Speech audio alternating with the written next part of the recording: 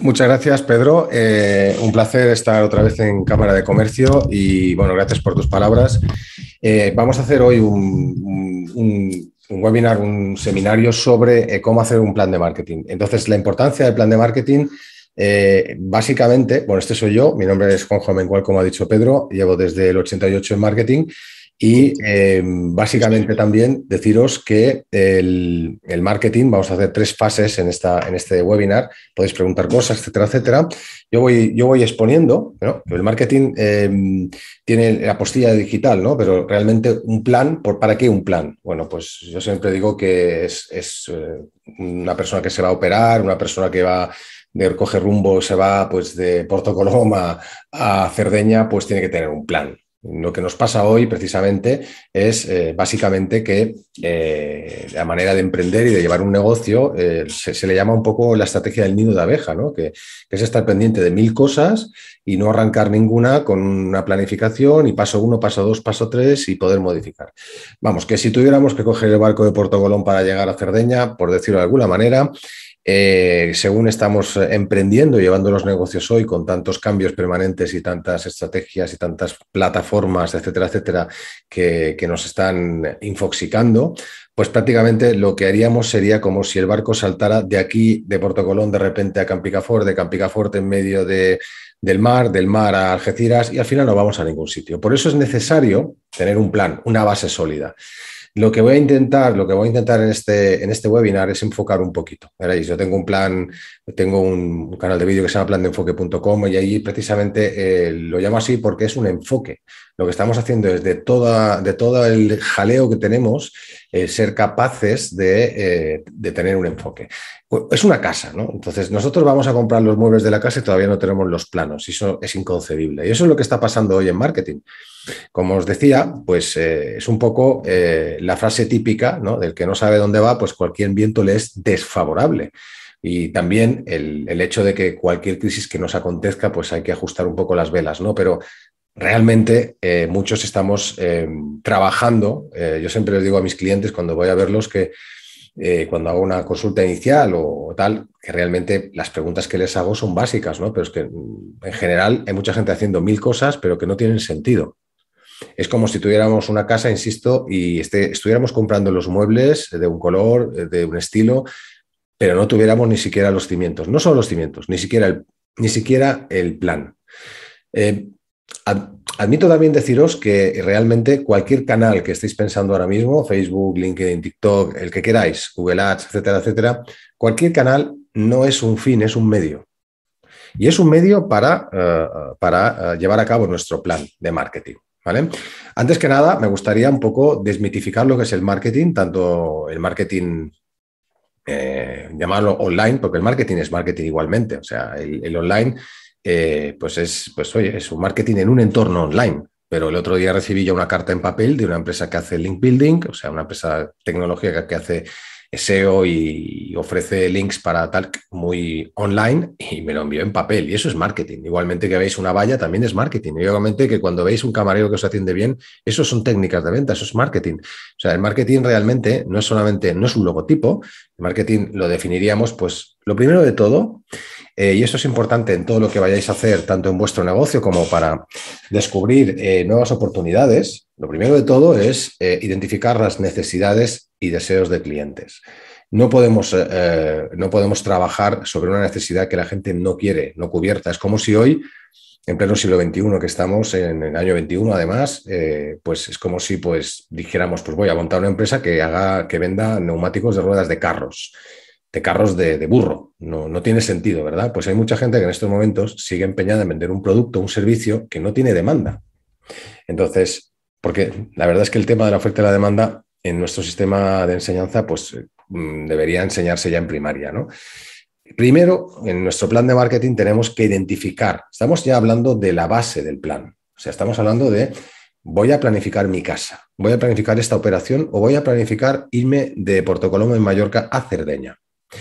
Eh, sin estos pasos, nosotros luego no podemos elegir luego los medios y lo vamos a hacer en este webinar. Vamos a hablar de la base, que es muy sólida, para posteriormente, a medida que vaya hablando, os vais escribiendo también esas ideas. Posteriormente hablar de, hablaremos de los canales y hablaremos de qué hacer en un plan de marketing, vale, también el apostillado digital. Entonces, es muy importante identificar las necesidades. Es uno, de, uno de los pilares del marketing. Para mí el más importante. En segundo lugar, es dar calidad, servicio y valor a los clientes. El marketing también es cuidar de nuestros clientes y eh, realizar lo que se llama el, time value del cliente, ¿no? el valor del cliente a largo plazo, el, long term, el, largo plazo del cliente, el lifetime value. ¿Qué es el lifetime value? El valor del cliente a largo plazo. Entonces, cuando nosotros tenemos un cliente, es más fácil, si le damos servicio y valor a los clientes, es más fácil que vuelva a comprarnos. Entonces, un cliente, no, podemos hacer un plan sin tener un plan de desarrollo de cliente. Llamarlo fidelización, llamarlo reactivación, pero es fundamental. Y eso es importante a la hora de establecer nuestro plan y os lo voy a decir luego, porque uno de los objetivos de entrada que tenéis va a ir enfocado a dar servicio y valor a los clientes. Evidentemente que el marketing también es llamar la atención de los mercados, hacer una buena campañita que llame la atención, que, llame la atención, que sea homogéneo con vuestra marca, con vuestra empresa. Evidentemente la publicidad, la comunicación es una parte del marketing, por supuesto. Y por supuesto, en último lugar, porque muchos estamos haciendo a veces eh, proyectos, startups que son magníficos, que tienen una trayectoria brutal, pero no son rentables. Entonces, cuando pasa eso hay que abandonar, pivotar, intentar corregir y cuando algo no es rentable, tampoco es marketing. No podemos plantearnos eh, mercadear algo sin que sea rentable porque el futuro no es, salvo que tengamos un objetivo que sea vender la empresa a alguien que la compre en un futuro. Aquí veis expuestas la magdalena, el muffin y el cupcake. Como veis, es un juego de percepciones y vamos a ver rápidamente lo que es y lo que no es el marketing. ¿Por qué eso? Eso teóricamente que es tanta teoría, de verdad os la, os la he eh, resumido en estos tips, en estos consejos, para que lo tengáis en cuenta antes de empezar a hacer. Eh, a mí me vienen muchos clientes y me dicen, oye, voy a hacer un Facebook. Pero tú, vamos a ver, tú, tú vas al médico y le, tú vas a la farmacia y le pides directamente que te dé un, medicamento cuando tienes dolor de brazo. No, ¿verdad? Primero te vas al médico, te hace un análisis, te hace un diagnóstico, tienes dolor de brazo, pues tómate un Norotil. Luego sí te vas a la farmacia. Entonces, esto es fundamental paso a paso, porque si no, no funciona. Es verdad que hay gente que hace auténticas campañas maravillosas, pero no tiene sentido y eso al final es un bluff. El marketing es una actitud, no es un departamento. A mí eh, lo digo siempre, ¿no? En, los departamentos de marketing, yo he estado en, varios, ¿no? He estado en Telefónica Móviles España, he estado en el Real Mallorca, director de marketing, cuatro años y medio, he estado en multinacionales y empresas que no son multinacionales, que son nacionales y que son poco especiales como un club de fútbol, que por cierto ahora va primero en Mallorca, vamos a brindar por ello. Pero una cosa la parte deportiva y otra cosa la parte de gestión. Y el marketing, yo no me canso de decirlo en todos los sitios y en todas las empresas, no es eh, no es un departamento. O sea, la persona que coge el teléfono, la persona que atiende, también hace marketing cuando coge el teléfono, aunque no esté en ese llamado departamento de marketing y ventas, que yo lo juntaría, por supuesto. Eh, dicho esto, tener que mm, tener en cuenta estos tips que os voy a decir. Lo primero en marketing mm, es ser el primero en la mente, no el primero en el punto de venta. No me voy a explayar mucho, luego hacéis preguntas si queréis, haré unos parones de vez en cuando, pero ¿Qué significa mejor ser el primero en la mente que ser el mejor en el punto de venta? Seguro que ahora mismo a, la gente que pasa de 50 para arriba, cuando les hablamos de telefonía, piensan en telefónica y no es el primero en el punto de venta. Seguro que a muchos de vosotros que, que estáis ahora mismo, cuando os hablo de diseño tecnológico. Cuando se habla de móviles, de una marca de móviles, os viene en la mente el Apple. Apple no es el primero en el punto de venta. No sé si tendrá un 18% en España, un 19%. No es el primero en el punto de venta. Posiblemente Huawei, eh, Xiaomi o no tengo las cifras aquí. Pero lo importante es ser el primero en la mente y no el primero en el punto de venta. Porque si, si haces eso, puedes vender móviles a 1.500 euros y hacer una preventa y hacer colas de kilométricas en cada tienda en Hong Kong, en todo el mundo, vendiendo esa preventa. La percepción, la gente saliva, la gente tiene orgullo de marca, tiene orgullo de pertenencia, etcétera, etcétera. Por eso es importante ser el primero en la mente y también, por supuesto, ser rentable en el punto de venta. El marketing no es una batalla de productos, es una batalla de percepciones. Eh, por esa misma razón os digo que el producto no es Apple, el producto es la percepción que tiene Apple la, percepción que tenemos nosotros de Apple o de otra marca, de la que sea. Entonces, si nosotros damos una percepción que a veces la damos muy mal, a mí como ejemplo os pongo cuando voy a ver un cliente, siempre me dice, pero no has visto mi web jamás, porque me llevo siempre una, me, me coge un prejuicio sobre ello. ¿no? Entonces, cuando empiezo a preguntarles a qué te dedicas, quién es tu cliente, cuál es tu propuesta de valor, qué necesidad descubres, ahora vamos a ver todo eso paso a paso. Normalmente me dicen una cosa que no tiene nada que ver con lo que está comunicando en sus redes, en su web o en su manera de, hablar. ¿no? Eh, pues puede ser que tú tengas una percepción de una cosa, pero lo importante es que te sea coherente. La el tercer tip que yo os daría es que enfoquéis. Eh, por eso a veces eh, aquí el nombre, el plan de enfoque, es un plan de marketing, pero es un plan de enfoque. Enfocar significa no hacer mil cosas, ya dice Confucio aquello de que si quieres perseguir dos liebres no alcanzarás ninguna, sino centrarse. Para eso el marketing detecta esas oportunidades y hacer un plan de marketing es detectar con quién voy a con quién voy y qué, qué ruta voy a seguir. Nosotros no podemos coger un barco e ir a dos sitios a la vez, ni podemos cambiar de rumbo cada media hora. Y eso es un problema, y también en lo cómo lo comunicamos. Lo que, lo que, hay que intentar siempre es ser breves. Los americanos lo llaman keep it simple, stupid. Hazlo simple, estúpido. Si somos breves y somos capaces de poseer una palabra en la mente del cliente, enfocar eh, en, una palabra, en una imagen, como queráis, seremos capaces de comunicar. Porque realmente hay mucho ruido ahora mismo tanto si habláis cualquier canal que habláis, pero luego veremos cómo funciona el cerebro. Si os mantenéis aquí vais a ver cómo el cerebro interpreta los mensajes y qué es lo que ve cuando hable los 200.000 anuncios que hay en Facebook, en Twitter, en donde sea, y en la televisión para los que la vean. Eh, lo importante no es ser el mejor, sino intentar ser diferente. Hoy el marketing pasa por la especialización y la diferenciación. O sea, yo cuando pregunto a un cliente, em, cuando alguien tiene que contar, cuando os pregunta a vosotros en este webinar, eh, ¿qué? ¿Por qué os tengo que comprar a vosotros? Tenéis que ser capaces de, decir, de decirme en qué os diferenciáis de la competencia. Porque la pregunta que os pues tenéis que hacer a vosotros mismos es identificar vuestro cliente objetivo, vuestro cliente comprador, el que va a comprar de verdad, el que va a poner la pasta, no, no la abuela y el amigo que os va a decir que todo está súper bien. No, no, tenéis que poner los zapatos de la web. Cuando hagáis una web, no os tiene que gustar a vosotros, tiene que gustar a vuestro cliente. Y entonces la pregunta es, ¿qué tienes tú de diferente? ¿Por qué tengo que comprarte a ti? Tanto si son unas zapatillas como si son un servicio de high quality level de concierge o, si eres un médico, un abogado o, vendes eh, pues menús de, de, 60 euros en tu restaurante o cafés de 2 euros en el tuyo. El hecho es ser diferente.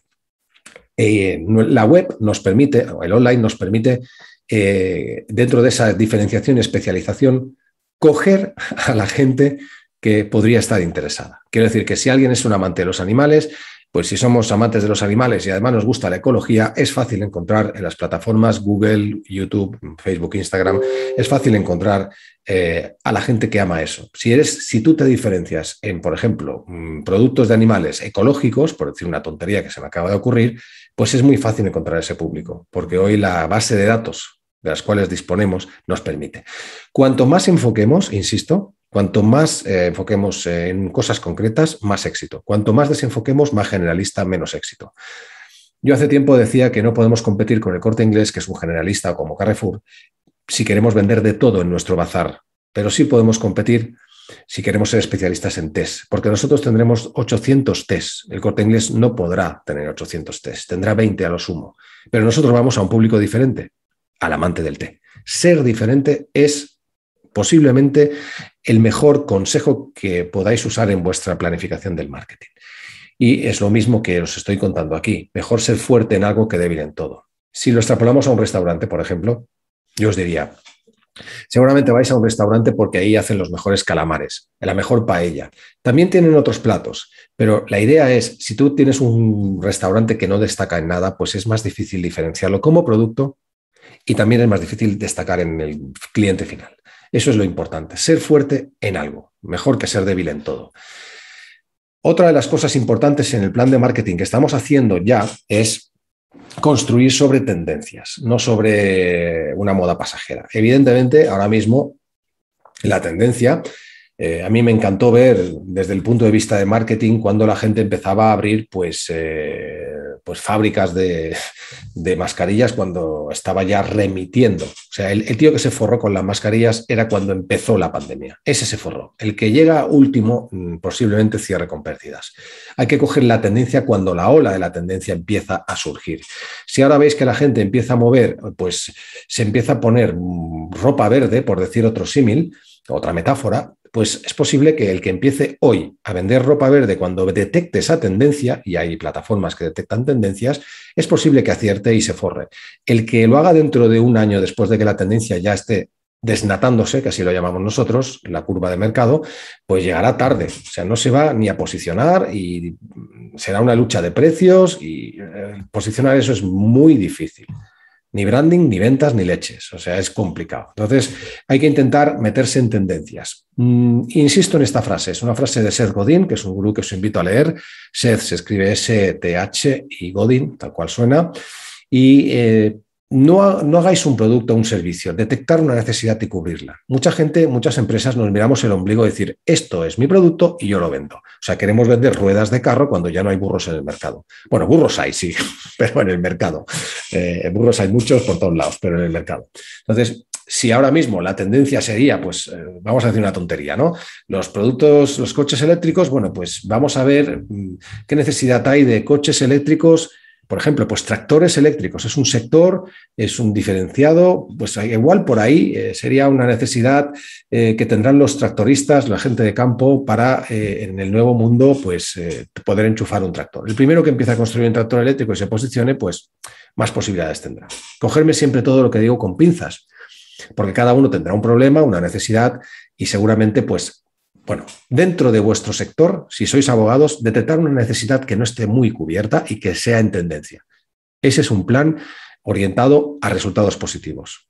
Si queréis hacer más de lo mismo, tendréis muchísimos problemas, salvo que tengáis alguna fortaleza que no detectemos y en eso también hablaremos en este plan.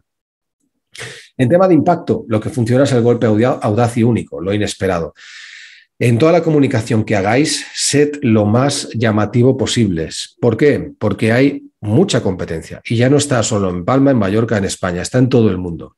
Y en estos momentos, a mí me chirría el mundo de las rebajas, porque, por ejemplo, eh, en estos momentos la veda está abierta, cualquier persona que tenga un móvil puede comprar. Hay mucha gente que no lo ha entendido todavía. Entonces, ahí hay mucha información. Cuando alguien abre el móvil, ve toneladas de información. Insisto que luego vamos a ver cómo, brevemente, cómo el cerebro digiere eso y cómo el cerebro decide que sois vosotros los que van a comprar o otros. Lo vamos a ver, es muy sencillo.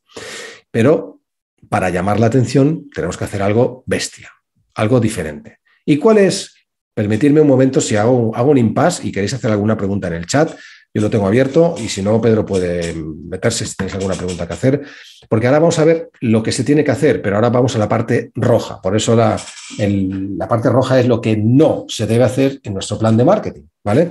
Y es tan importante como lo que debemos hacer o sea, hasta el momento lo que hemos visto es, como veis, estamos simplemente eh, haciendo las bases, ¿no? Es como deciros, oye, no os voy a hablar de que el marketing son cuatro P's, el producto, yo sigo pensando que son cuatro P's, el producto, el servicio, hay que definirlo, qué propuesta de valor tiene. La segunda P sería eh, la, distribución, dónde lo voy a distribuir, quién me va a vender esto. Dicho de alguna manera muy sencilla, es el placement, por eso es distribución.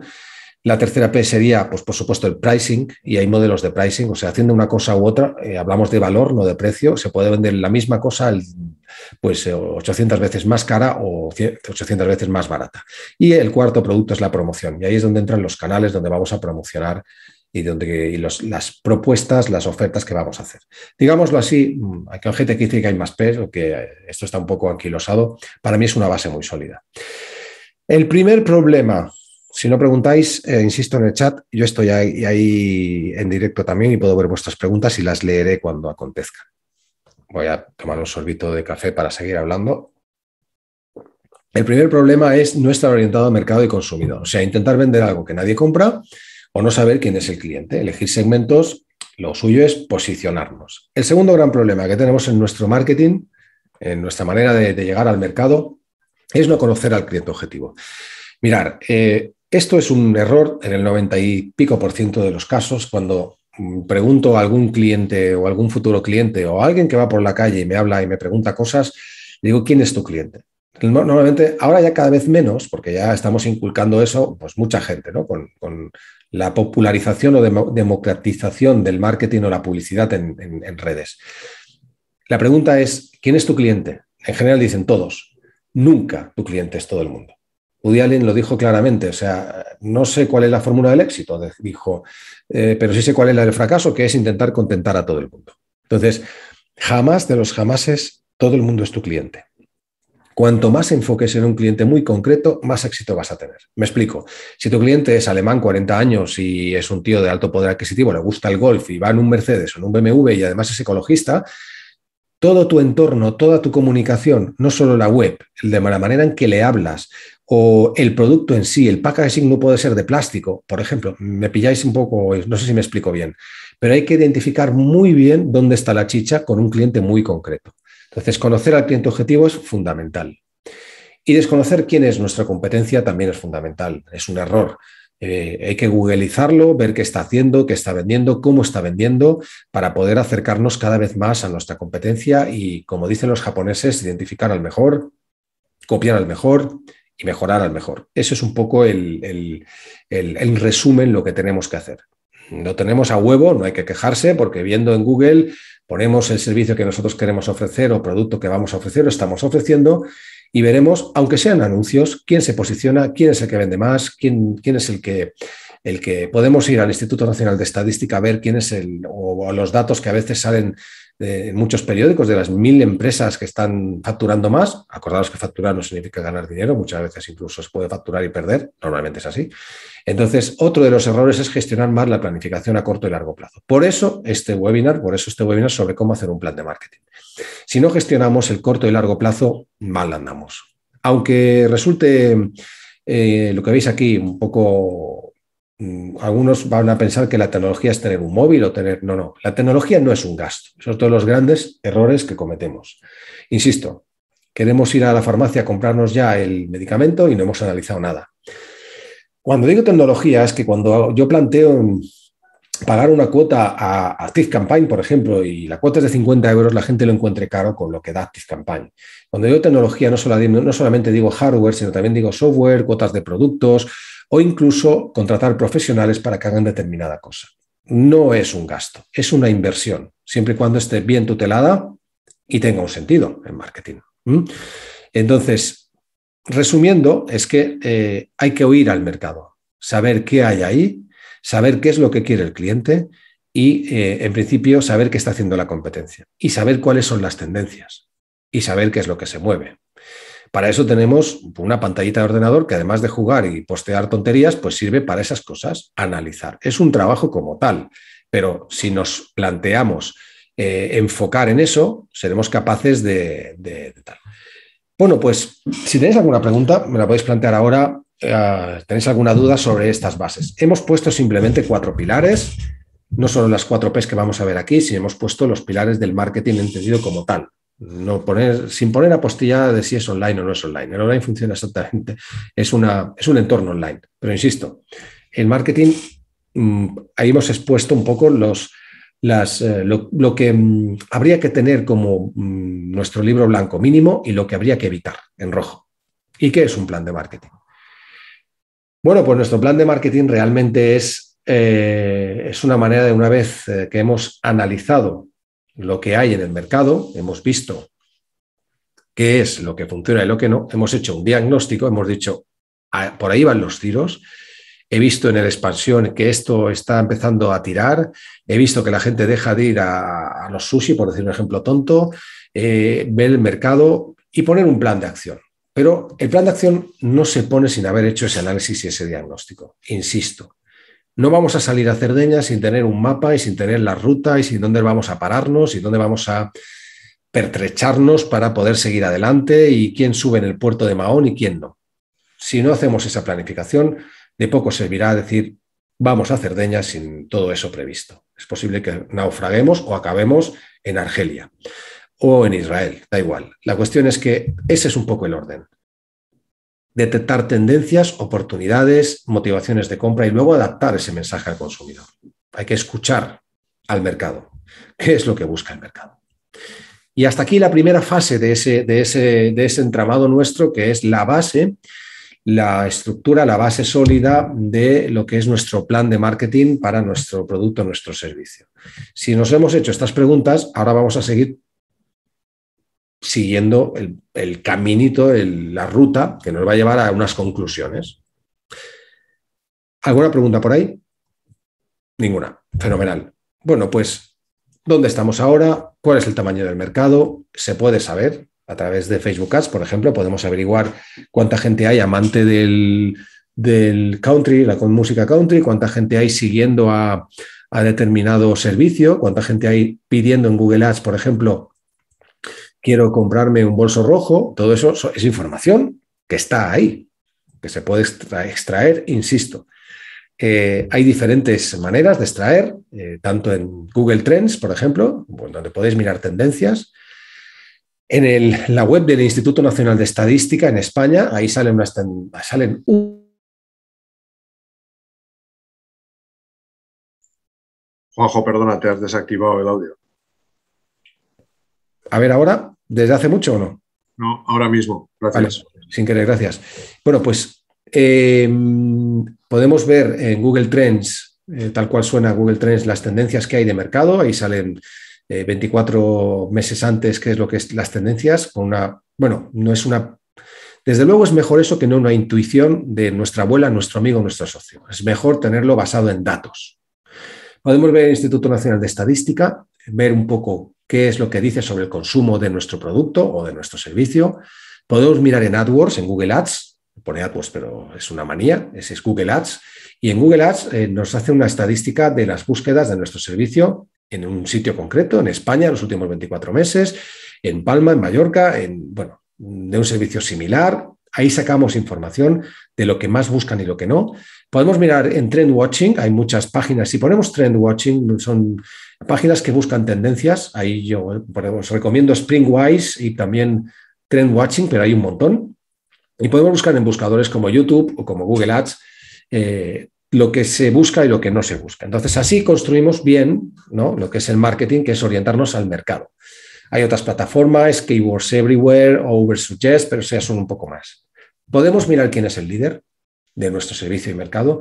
Insisto, ver qué está haciendo, porque os aseguro que si él está haciendo determinados posts en un canal o está haciendo determinada estrategia de captación de leads o de prospectos, posiblemente es porque ha probado ya otras cosas y, está acertando en ello. O sea, que copiemos al que lo hace bien, al que vende y seguramente nos equivocaremos poco. Evidentemente no tendremos ese presupuesto, pero podemos elegir. Porque la pregunta que me vais a hacer es, oye Juanjo, ¿y qué canal tengo que elegir? Porque, ¿qué elijo? ¿TikTok? ¿Hago email marketing? ¿Hago? Bueno, y luego lo hablaremos eso, ¿vale? Todo no podremos hacerlo porque no nos da la vida para tanto y porque intentaremos cazar 20 liebres y mm, ya dijo, como he dicho Confucio, que si intentamos cazar dos, no cogeremos ninguna. ¿Cuáles son las webs de referencia y cuáles son las palabras con las cuales nos buscaría nuestro cliente? Me encanta esto, no sé dónde lo saqué, pero dice que cuando escribimos eh, un sueño en un papel y le pones fecha, se convierte en un objetivo. Cuando dividimos el objetivo en pequeños pasos o actividades, se convierte en un plan. Y un plan respaldado por acciones que van enfocadas a cumplir esas actividades se convierte en una realidad. Todo lo demás son ocho y nueve y cartas que no ligan, como decía mi abuelo, para descanse, mi padre también. Entonces, de lo que se trata es simplemente de eh, enfocar en un objetivo, trocearlo y esto es un poco la plantilla que yo uso a la hora de hacer un plan eh, es la parte del análisis. Lo podéis hacer en cualquier Excel, escribíroslo porque no hay nada que vale más lápiz corto que memoria larga. No hay nada más mejor que escribirlo, compartirlo con los socios, los propietarios de la empresa o con las partes implicadas. Cuando yo lo hago en un plan de marketing, prefiero que haya 20 personas en, ese brainstorming inicial que no una, porque eh, tres piensan más que dos y cuatro más que tres y diez más que... Siempre alguien aporta algo desde un punto de vista. No podemos hacer un plan de marketing sin preguntarle a nuestro cliente tipo, si tenemos un cliente tipo, donde, porque normalmente nos equivocaríamos. Bueno, pues un plan podría estar en un Excel, en un, en un dashboard, en un cuadro de mando, y las preguntas que nos tenemos que hacer sería esas. Si nosotros somos capaces, las vamos a ver ahora, esas preguntas de nuestro plan. Si nosotros somos capaces de saber, eh, hay una matriz que se llama de Ansoft donde nos dice, eh, bueno, metemos un producto nuevo en un mercado nuevo, metemos un producto existente que está penetrado, nos vamos a pelear en un sitio donde hay 800.000 personas y productos y vamos a pelear a precio. Mi consejo siempre es mm, lucha por la diferencia, no por el precio. Si luchas por el precio estás muerto. Lo veremos cuando hablemos de pricing o estrategias de precio. Podemos meter un producto nuevo en un mercado existente, podemos meter un producto nuevo en un mercado nuevo, diversificar, podemos meter un producto existente en un mercado existente, penetrar en el mercado, eh, que es lo peor que os puedo recomendar, sin una diferenciación clara, y podemos meternos un producto existente en un mercado nuevo. Eh, lo vamos viendo, ¿no? Pero al final se trata de enfocar. Primera pregunta. Vale, estamos sentados, tenemos nuestra empresa en marcha, o tenemos eh, un proyecto en marcha, una idea de, que, es magnífica, pero luego hay que ejecutarla. Las ideas son muy buenas, salvo que se ejecuten, luego hay que ejecutar. Hay alguien quien dice que es mejor una idea mediocre y bien ejecutada que una idea magnífica sin ejecución. Lo sostengo. Nuestra primera pregunta, que no es baladí, que no es una pregunta extraña ni es una pregunta filosófica, sin esta pregunta no podemos desarrollar nuestro plan, online o sin online, ¿vale? Tenerlo claro. ¿Quiénes somos? Qué fácil. Nada de misión y visión. Esa está muy bien, pero al final es poco práctico. ¿Quiénes somos? En diez palabras. ¿Sabemos quiénes somos? Quiero decir, somos una empresa que hacemos qué? Soldamos, arreglamos problemas de financiación, arreglamos problemas de, legales, em, tenemos una ropita muy maja para niños de, o niñas de, de una edad, con una moda chill out. ¿Qué beneficio o necesidad cubrimos? pues la necesidad de ir a la moda, la necesidad de ser eh, eco-friendly o tal, una necesidad, un beneficio de tenerlo inmediato, una necesidad o beneficio de tenerlo eh, con un packaging que nos, que nos que, cubra las necesidades de me siento identificado y a gusto, me encanta, qué monada. ¿Qué beneficio cubrimos? ¿Para quién? Esa es otra pregunta. No es filosofía, es, filosofía. ¿Quién es nuestro cliente? Pueden ser varios, ¿eh? Puede ser el alemán de 40 años que os citaba antes y la mujer de 80 años que tiene unos gustos similares y también nos va a consumir, que tiene, bueno, definamos los tres más potentes. Quiero decir, siempre, yo siempre en los públicos eh, hay un público a tener en cuenta que es el público interno, que somos nuestra empresa, para estar bien comunicada. Y otro público son los media, aunque cada vez tienen menos poder de convocatoria y de lectura, pero hay que tenerlos en cuenta. Pero bueno, vamos a decir quién nos compra, o sea, quién va a pagar nuestra hipoteca. ¿Quién es el que va realmente a comprarnos y el que no, no solo va a facturar, sino que nos va a dar muchísimo beneficio y muchas sonrisas y beneplácitos y va a recomendarnos. ¿Y en qué nos diferenciamos? ¿Cuál es nuestra fortaleza? O sea, os he dicho antes que es mejor ser diferente que ser barato. El que va barato está muerto. Porque siempre hay un chino, un taiwanés o un tío que está en Delaware o en Denia que va a luchar por tener mejor precio. Y a lo mejor tiene mejor stock o es una empresa que se muere y ya si se muere le da igual bajar el precio de hacer dumping. Y tú detrás. ¿La gente consume por precio? Sí y no. La gente consume por valor. ¿En qué te diferencias? ¿Qué valor aportas al mercado? Eh, mucha gente suele echar mano del típico, mm, pues hago una oferta personalizada. ¿Vale? La segunda pregunta es la más dura. ¿En qué la personalizas? Exactamente, cuéntamelo, concrétamelo. Eh, si tenemos claro todo esto que os estoy preguntando, nuestra comunicación en cualquier canal, en cualquier medio, sea en vídeo, en texto o captando a través de un email o haciendo campañas de Google Ads o YouTube Ads o en TikTok haciendo el baile chorra, nuestra comunicación va a leer de aquí qué es lo que hacemos, qué hacemos, qué beneficio cubrimos, para quién vamos orientados y en qué nos diferenciamos, cuál es nuestra fortaleza, nuestro músculo. ¿Y en qué mercado? Por supuesto. Podríamos hablar del mercado hispano. Mira, he visto cosas que son incongruentes. He visto hoteles, que la película de Blade Runner, ¿no? Del Roger Howard, que dice, he visto cosas que no creeríais, ¿no? Pues sí. He visto hoteles de cinco estrellas que cuando me comunicaban, o de seis estrellas, me comunicaban pacientemente que su cliente era un alemán muy culto, que pagaba un pastizal, que estaba forradísimo, que hablaba Hochdeutsch, el de alemán alto, o sea, pero culto y tal. Y cuando me acababa de decir esto, decía, muy bien, vamos a ver qué comunicas en tu web. Lo primero que veía era una web infantil con un pop-up que saltaba de, hola, churri, ¿qué tal? ¿Cómo estás? Oli, oli. Bueno, traducirlo al alemán, lo vamos a traducirlo ahora. O sea, no estaba comunicando. ¿En qué mercado te vas a posicionar? Bien, hay maneras de ver si vais a registrar. Lo primero que os recomiendo si estáis empezando en vuestro plan de marketing es, y aquí no hablo del dominio, registrar la marca. De verdad, hay muchas oportunidades incluso de gente que está trabajando hace años y no ha registrado la marca.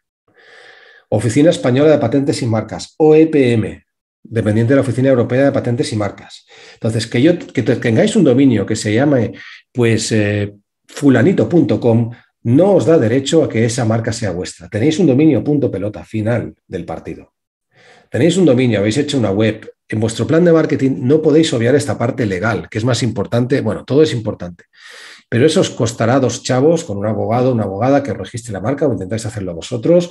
La registráis para tazas, para sistemas, para lo que queráis. Pero registrarla. ¿Que el mercado es español? Pues la registráis en España.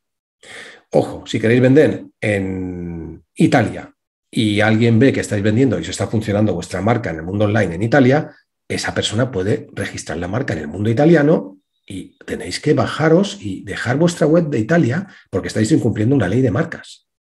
Es importantísimo. Entonces, el registro es importante. Buscar el naming sería si empezarais ya a abrir vuestro negocio, ¿no? Primero, ver que la marca esté. Yo soy partidario de que las marcas digan algo. Por eso, pues, oye, tengo varias empresas, una es Marketing Consulting Mallorca, que ya lo dice todo, no tengo que hacer un esfuerzo en explicar qué hago. Otra es eh, LinkedIn Tutorial.es, que ya dice exactamente de qué va el tema. Otra es Foro Vacacional, que es un foro del que vacacional, también dice algo. Bueno, que la marca diga algo es importante para los que no podemos gastarnos millonadas en branding. Porque si luego hay que explicar a la gente lo que hace Samsung, mm, que aparentemente si os cerrarais vuestro cerebro no os dice nada, pues os tenéis, o sois una multinacional o una empresa con un gran presupuesto para gastarse dinero en explicar a la, mente de vuestro futuro consumidor que vuestra marca implica eso. Por eso es importante chequear nombres en namechecker.com, namemesh.com, que estén disponibles en todas las redes, si es posible, por lo menos las más básicas. Antes de elegir el nombre y lanzarlo al mercado, es importante registrar la marca, eh, que el dominio esté libre en .com y un, y geográfico, un .es, por ejemplo, y luego eh, buscar también, por ejemplo, que las redes, las más importantes, también sean las mismas. Qué bonito es cuando uno, busca una palabra, por ejemplo, LinkedIn tutorial y la tiene libre, no solo en el dominio, sino que también la puede, registrar eh, en Facebook, en YouTube y en Twitter, que van a ser tres canales que pueda usar. Pues antes de buscar un nombre, buscar en Namechecker si esa, marca está disponible en esa red. Creo que hay una pregunta. Eh, si sí, hacer una pregunta, sí, adelante con ella. Así yo puedo No, es que es muy interesante esto que, a veces los emprendedores, ya no empresas, que también, por supuesto, se, plantean. Ah, lo que estás diciendo es, registrar la marca a la hora de después tener el dominio. Creo que es como también importante entender, y te pedía y mi pregunta es esa, si después ese dominio será mejor o peor eh, mm, en función de cómo puede salir eh, en Google, por decirlo llanamente.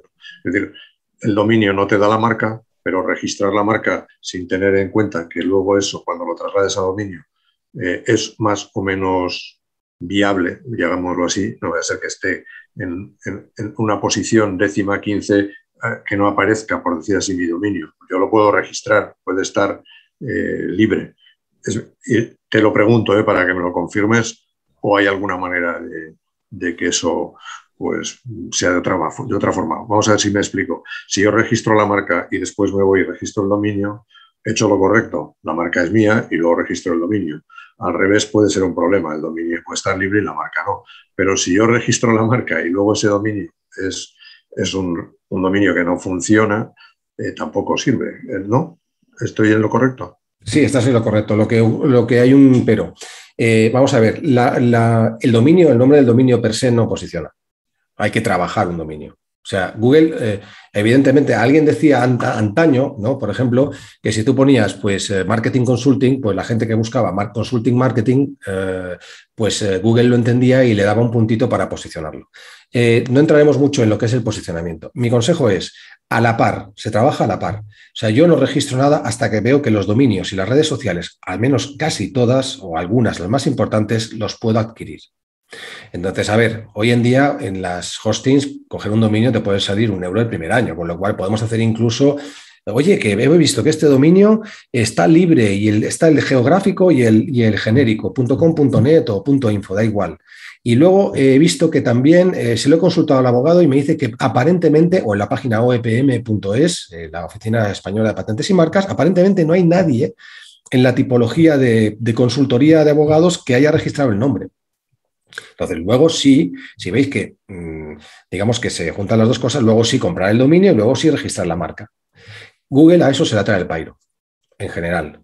A Google lo que le gusta es que trabajes eh, no voy a hablar concretamente de SEO, pero que, trabajes el contenido, que la gente venga a leerte, que sea una página light, ligera, que, la gente, que no pese la página, es muy importante, que esté no solo orientada a móviles, sino que cualquier fruslería de diseño que haga que la página se ralentice, por eso hay que mirar siempre el page speed, el valor que da Google, Google Page Speed al valor de carga de la página que tenga contenido relevante, por eso hay que hacer un análisis de palabras adecuadas y luego posteriormente empezar a hablar del problema del cliente. No solamente hablar en lenguaje SEO, o sea, si, si yo quiero posicionarme en mm, cómo divorciarme, por ejemplo, si soy abogado y quiero posicionarme la gente que busca cómo divorciarme, primero hago un análisis en Google Ads, por ejemplo, decir cuánta gente busca cómo divorciarme y si la gente busca quiero saber cómo divorciarme, pues escribir sobre quiero saber cómo divorciarme. Pero a veces muchos contenidos de este tipo son ilegibles para el, humano. El humano quiere, eh, quiere, una lectura rápida. El segundo punto del SEO, del posicionamiento, es contenido frecuente. La antigüedad del dominio es importante. Yo recomiendo a veces ir a webs que venden dominios con una antigüedad de 10 años porque Google premia la antigüedad. Es mejor coger un dominio que os sirva y que tenga una antigüedad de 10 años porque le da cierta autoridad eh, a Google para posicionarlo que no un dominio recién comprado. Nos estamos yendo a algo muy, muy concreto del posicionamiento, pero ojo, estamos construyendo un plan de marketing desde abajo. O sea, encontrarse con el problema luego va a ser un problemón, porque será más difícil posicionar esa web. Ahora, requiere de frecuencia, como todo en la vida. Eh, yo siempre digo, eh, hacedme caso, el marketing es un maratón, no es un sprint. Eh, mucha gente, pero mucha gente, muchos de mis colegas entienden que el marketing es un sprint. Hago una campaña, soy feliz. Puede funcionar o puede que no, pero tenemos que tener una base sólida. Todo lo demás es flanear. Entonces, si partimos de la base, como comentaba Pedro, tener un buen dominio a la par de que tener libres los dominios genéricos y geográficos, como el punto es, a la par, luego hay que hacer carretera y manta. O sea, atarse los machos, ponerse bien, las, eh, arromangarse las mangas y empezar a trabajar el contenido, empezar a difundir en redes para que la gente venga a leer y se quede tiempo. O sea, si no, por muy chulo que tengamos el dominio y la web súper bien diseñada y además bien programada, si no generamos contenido, nos va a visitar el tato y nuestra prima y nuestra abuela, pero no nuestro cliente objetivo. Hay que hacer cosas para que la gente venga a la web. No basta crear la web. Y esas cosas se llaman marketing. Se llama marketing de contenidos, se llama difundir, se llama hablar el lenguaje del cliente, se llama hablar de la pupa del cliente y se llama hacer campañas. Se llama hacer eh, mm, campañas de pago para que la gente venga a la web y que además la encuentre light, que la encuentre mm, pues poco pesada e interesante. Eh, y así, con el tiempo y una caña, conseguiremos que Google entienda, ostras, mira el Juanjo, que habla de divorcio. Y además la gente se queda dentro a leer. Y además vienen de otros canales. Y además, y además, y además, dentro de dos años o tres, esa web, si yo persisto en el intento de hacer contenidos, a lo mejor se posiciona arriba en Google. Lo mismo pasa en YouTube, ¿eh? que es un buscador. Insisto, en estos momentos tenemos redes que son buscadores, que no son redes. Pinterest es un buscador, no es una red social, es un buscador de imágenes. Eh, YouTube es un buscador, y a, la par intenta ser una red social, pero es un buscador propio. Google es un buscador. Facebook no es un buscador. Instagram no es un buscador. O sea, hay cosas que permanecen y no permanecen. Bien, lo cual no significa ni bueno ni malo, simplemente si, estamos optando a la búsqueda. ¿no? Si, no, si tenemos hecha la primera pregunta y continúo si no hay más preguntas, ya sabemos quiénes somos. Somos una empresa que cubre este beneficio, nos diferenciamos en que lo hacemos en 24 horas y nuestro tipo de cliente es X persona con estos gustos, en este mercado, bla, bla, bla. Ya sabemos quiénes somos. Yo siempre digo, si puede ser en 10 palabras, mejor que en 20. Si pasa de 15, tenéis un problema de comunicación. O sea, lo bueno si breve dos veces bueno o el besito que os he dado al entrar, que es un kiss. Keep it simple, stupid. ¿Qué necesidades cubrimos? Eh, ahí entra un poco la psicología entra un poco, no, entra un mucho. O sea, la gente, nosotros atacamos al deseo velado.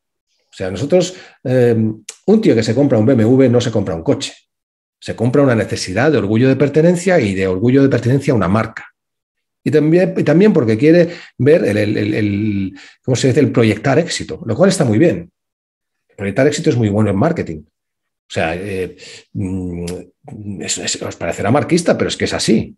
Si yo voy con, con un Rolex y voy en un BMW descapotable y me atiendes como consultor de marketing, lo primero que vas a pensar, este tío está forrado porque tiene clientes, porque le pagan, debe ser bueno. Punto. Si yo voy con un 4L de estar talado, puedes pensar, si soy un diseñador, puedo ir así. Y voy en, alpargatas y con el pelo y con barba de cinco días o hipster, pues diría, este tío debe ser un crack.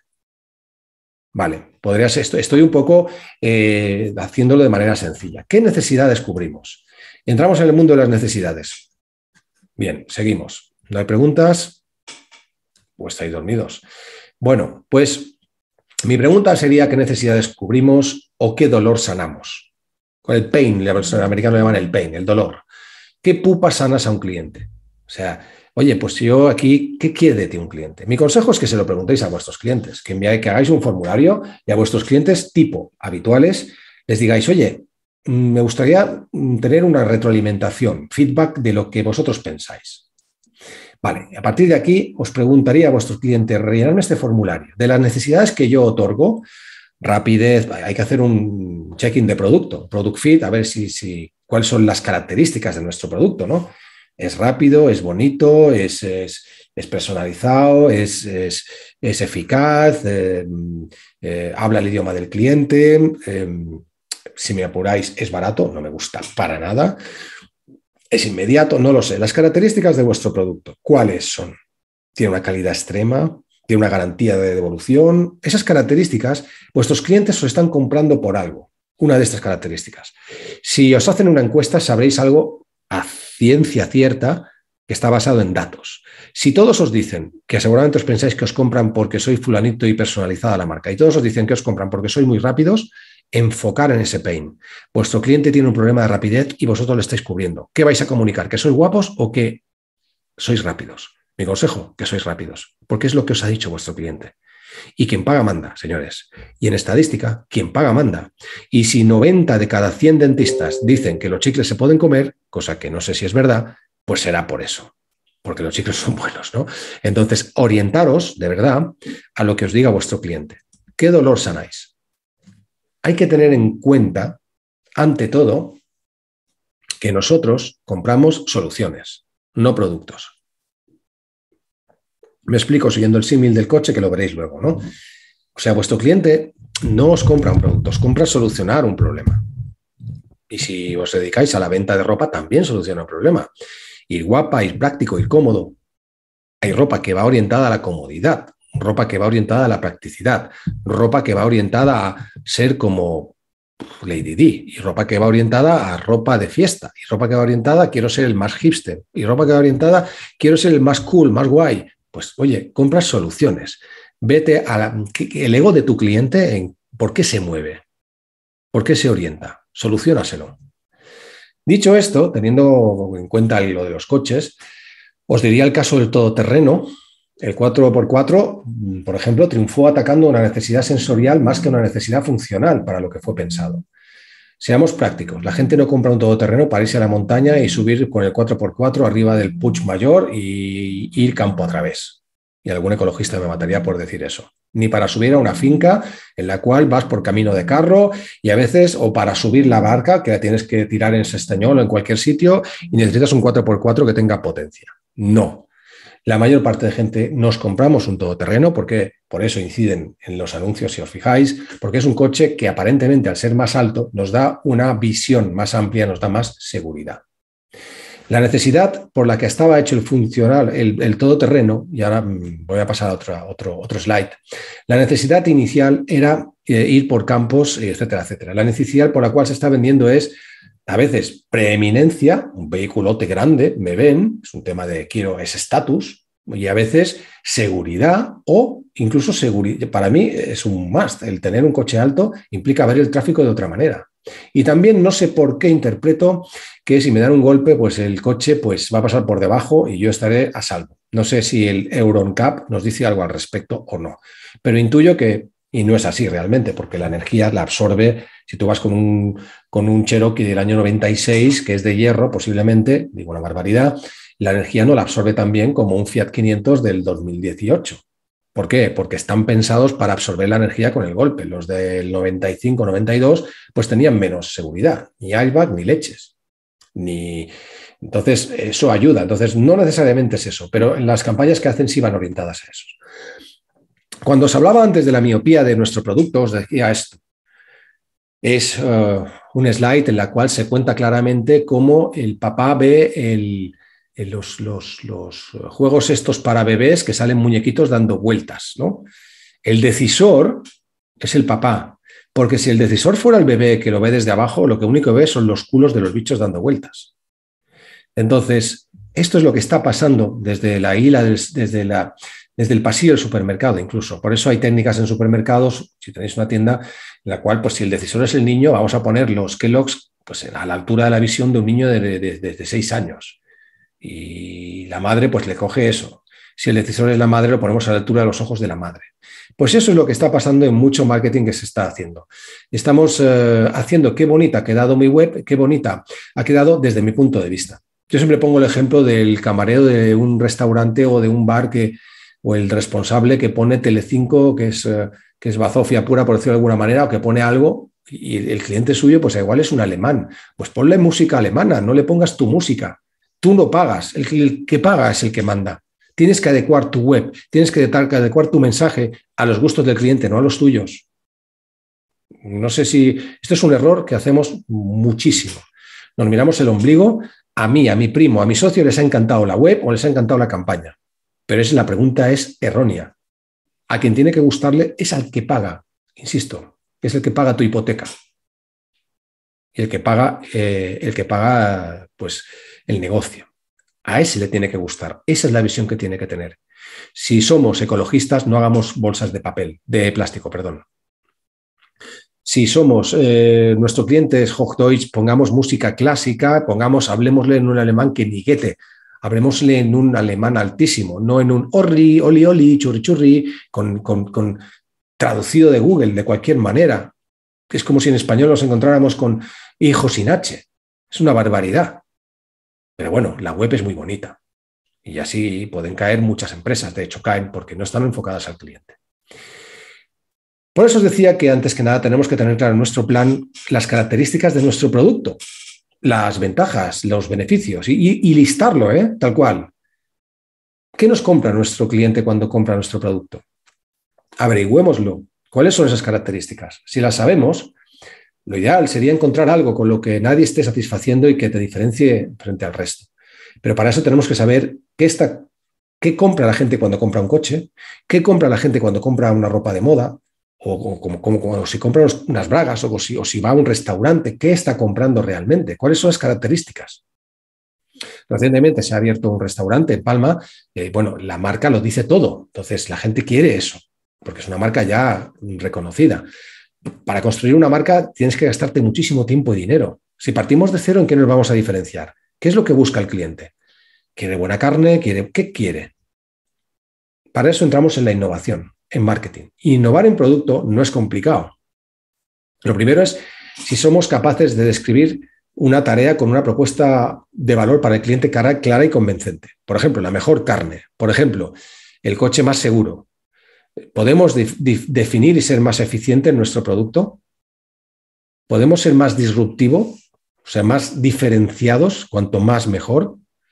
Bueno, pues el camino es establecer objetivos y público, identificar necesidades del público, ofrecer una propuesta de valor única. Somos los mejores en carne. No podemos ser los mejores en carne, en paellas, en pizzas y en sushi. Eso es imposible. Eso en la mente del consumidor le está diciendo, este es malo en todo.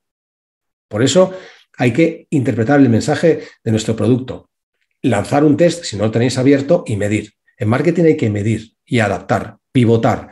Si nos está funcionando mal una campaña, hay algo ahí que nos estamos equivocando. La campaña está bien hecha, puede ser, el mensaje, aterrizamos mal, el momento, el público. Y cuando tengamos adaptado y medido esto, escalemos. Si hemos hecho una campaña de 20 euros y ha funcionado, comparémoslas con otras y ha funcionado el mensaje, ha funcionado el producto, el momento, el precio y el canal, repliquémosle, metémosle gas a fondo, metemos ahí y, escalemos, metemos 200 en vez de 20. Hemos hablado de la propuesta de valor. Palabra interesante. Intento, intento no hablar en Klingon, ¿eh? intento hablar en un idioma que se entienda. ¿Qué es la propuesta de valor? Es aquello, bueno, pues es el factor que hace que un cliente se incline, para compraros a vosotros y no a otra empresa. Oye, y hay gente que se inclina a compraros a vosotros porque estáis cerca también. ¿eh? La cercanía es un plus. Lo, he, dicho antes, el valor del producto incluye la cercanía. Yo siempre he dicho que los eh, comercios de la isla de Mallorca lo tienen muy bien para competir frente a Google, hasta que Google tenga un centro. Ahora lo llaman hub, que da más snob. Cuando Google, eh, cuando Amazon, perdón, Amazon tenga un centro aquí, será más difícil competir con Amazon. Pero hoy Amazon tarda 24 48 horas. Cualquier tienda de Mallorca pule ese récord en un par de minutos si está en Palma o en una hora como mucho. Eso es una ventaja competitiva brutal que nuestros comerciantes no saben usar. Punto. Entonces, si tú tienes una ventaja competitiva, una propuesta de valor de decir, oye, yo te sirvo esto y lo hago en media hora. Evidentemente que los precios serán mejores o peores, evidentemente, no vas a precio. El tío que quiera disfrutar de esa cosa comprada en, en menos de 24 horas, o sea, en media hora, lo puede hacer, pero hay que estar ahí para enseñárselo. O sea, tienes que solucionar un problema y satisfacer una necesidad y si es posible de manera innovadora. Por ahí va el tema de nuestra propuesta de valor. En cierto modo, yo resumiría eso, la propuesta de valor, en aquello que esperamos hacer mejor o de manera diferente que la competencia. Punto. Y si somos más rápidos, lo hacemos diferente y mejor que la competencia. Cualquier chino, taiwanés o tío de Delaware que esté vendiendo nuestro producto. O sea, hay que buscarle una diferenciación, insisto. Especialización, sector y diferenciación. Nuestra propuesta de valor debería responder a cómo resuelvo el problema necesidad de mi cliente, qué beneficios o resultados va a tener el cliente al contratar nuestro producto o comprárnoslo y por qué nos tiene que elegir a nosotros y no a la competencia. Insiste en esa pregunta. Si yo os la hiciera, digamos que nuestro mensaje tendría que ser algo así. Nosotros ayudamos a nuestro cliente ideal a conseguir una transformación de su beneficio, de lo que quiere, a través de creando algo que nosotros ofrecemos de manera especializada, si es posible. Cuanto más en general hagamos las cosas, peor en marketing. Y cuando veis, hablo de marketing, hablo de producto. Porque el marketing no son campañas. A muchos de vosotros os, habéis puesto aquí a decir, oye, nos va a hablar de campañas en Facebook. No, estoy hablando de marketing. Voy un poco más atrás. Si nuestros fundamentos, nuestros pilares son sólidos, posiblemente las campañas que hagamos al final del trayecto sean muchísimo más contundentes y más eficaces. Si lo que queremos hacer es hacer campañas, pues, bueno, pues iros a la farmacia y pedir, un, pedir una aspirina. Igual lo que tenéis resulta que es simplemente una luxación y hay que operarse, vosotros mismos. Entonces, nuestra propuesta de valor, que es el primer paso que tenemos que entender, es qué hay en ello para nuestro cliente. Para eso hay que poner los valores, rapidez, hay que poder ser precio, reducción de costos, diseño, marca, estatus, comodidad, pueden ser cuantitativos, cualitativos, por ejemplo, la entrega rápida, el peso del producto, igual la gente busca comprar cosas más ligeras, valorar qué importancia tiene cada cosa en nuestro cliente y una vez hecha esa puntuación, pues mirar la percepción de nuestro cliente. ¿Qué, qué importancia, qué percepción tiene nuestro cliente cuando le recibe? Hablamos de entrega rápida, se lo entregamos a la semana. ¿Qué percepción va a tener? ¿Es positiva? ¿Es negativa?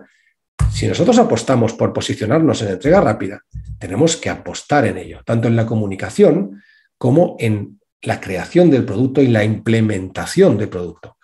Implementar el producto es mejorarlo día a día. Em, veréis, yo em, personalmente tengo una casa con licencia vacacional y yo desde el principio, pues aunque me lo lleva alguna agencia, intento ir yo al final, en la, no en el check-in, sino en el check-out cuando se van.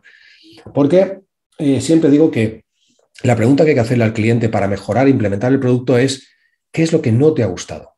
Cuando yo, cuando sale el cliente de, mi casa vacacional, les pregunto, oye, Helmut, John, ¿qué es lo que no te ha gustado? La gente le cuesta decirlo, ¿no? Y, hombre, ha estado muy bien. No, no, yo te rogaría que me dijeras lo que no te ha gustado. Lo que te ha gustado, las vistas, todo muy bien, el sitio, la limpieza, vale, muy bien, son, son, son, son valores. Pero lo que no te ha gustado. Hombre, Juanjo, es que en Inglaterra tenemos unas cosas que para hervir, bien, implementado. Me fui al Prica, que antes se llamaba Prica, el Carrefour o en donde sea, una tienda local si queréis, y me compré una boiler, un trasto que se mete y, solamente hierve. Perfecto, mejor puntuación. Otro me dijo, hombre, es que solo hay cinco bicicletas y tienes seis plazas. Coño, las estas, no había pensado. Si no preguntamos al cliente, no podemos saber qué da importancia a qué y qué no. Otro me dijo, oye, es que esto, la puerta tarda en abrirse o es que esto está mal explicado en Google Maps. Cualquier pregunta que hagamos es implementación de producto y es implementación y mejora de propuesta de valor. Os he prometido que hablaríamos del cerebro de la persona. Esto es, es una viñeta de Tom Fishburne que habla sobre la visión del comprador. Entonces, ¿qué es lo que ve un comprador normalmente? Nuestro comprador. Como veis, estamos hablando del comprador, no de nosotros. El comprador ve la marca habitual. Si yo me oferto con Gillette, pues ve la marca Gillette. Si yo eh, tengo BMW, veo BMWs. Si estoy embarazada, pues veo embarazadas. Si llevo barba, veo gente por barba por todo, por todos sitios. Si fumo en pipa, veo que hay un montón de gente fumando en pipa, la marca habitual. Si yo consumo mm, Coca-Cola, pues, mm, pues, pues voy a comprar Coca-Cola, porque es la marca que siempre compro. Y cuando veo un anuncio, no sé por qué, siempre veo el anuncio de Coca-Cola. No veo el de Pepsi ni el de cualquier otra marca. ¿Qué, ¿Por qué pasa esto? Porque nuestro cerebro es más amigo de lo que está más a gusto de entender después de 4.000 impactos cada mediodía, está más a gusto y detecta la marca habitual. Es algo común. Lo segundo es una oferta salvaje. Vale, nosotros no queremos cambiar de móvil, pero estoy seguro que cuando veáis ahora mismo cualquier medio digital y lo abráis o cualquier red social, os van a impactar, a impactar determinados anuncios y otros no sabéis ni qué habéis visto hoy. Os lo querría preguntar. Estoy seguro que me diríais, no sé qué he visto, pero si habéis visto un iPhone 12 a 200 euros, vuestro cerebro lo habrá visto. O si habéis visto descuento del 80% por liquidación de un producto, vuestro cerebro se fijará más, hay más posibilidades. O si habéis visto vuestra marca habitual, también vuestro cerebro hará un parón en el follón que tiene ahora mismo de impactos y va a decir, quieto, parado, ¿qué es esto? Y en tercer lugar, que es donde podéis incidir, en estas tres cosas podéis incidir en la marca habitual, incidiríais en hacer remarketing a clientes que os han comprado ya. En una oferta salvaje incidiríais en una propuesta salvaje. No soy partidario de eso, pero quizás para captar datos se suele hacer un, un imán, un lead magnet de captación de prospectos. Y en tercer lugar, y ahí sí que podéis incidir mucho, es en vender algo que necesitéis. En, el cerebro detecta lo que necesita. Me explico ya, sabéis el dicho, no vayáis a comprar al supermercado a la, a la una, porque con el hambre que tenéis vais a comprar un montón de cosas que no, que no necesitáis. Si vosotros, si, vuestro, si ahora mismo tenéis sed y vuestro, vuestro cerebro está recibiendo inputs del cuerpo de otros cerebros, como es el cerebro digestivo, y le está diciendo, oye, chatín, que tengo sed, que hace un calor del carajo. Bien, os aseguro que cuando veáis Facebook, LinkedIn, Instagram, TikTok, o leáis el, el, Riario de Mallorca o el, periódico que sea, lo que sea, se va a fijar en anuncios de, de qué? De productos que cubran esa necesidad. Nuestro cerebro determina qué va a saber conscientemente y qué no. Por eso, cuando hagamos nuestro plan de marketing, tenemos que tener muy claro nuestras propuestas de valor, eh, cómo vamos a hacer branding, cómo vamos a hacer captación de clientes y qué necesita nuestro cliente. Si tenemos claro esto, llegaremos a nuestro cliente. Insisto, es una manera de enfocar. La diferenciación es un plus, ¿vale? Entonces voy a ir un poco acelerando un poco el proceso, ¿no? Pero la originalidad también es un plus. Se diferencia uno siendo originales, fidelizando, siendo más accesibles. Lo escaso vende, lo exclusivo vende, es una diferenciación. Tengo solo 100, eh, eh, mi ropa, mi producto lo llevan solamente determinadas personas que están, pues, eh, que van de rollo ocupa o de rollo hipster o de rollo em, rebelde o de rollo ricachón o de rollo, no lo sé, el rollo que sea que tenga vuestro cliente o de rollo eco-friendly, ¿no?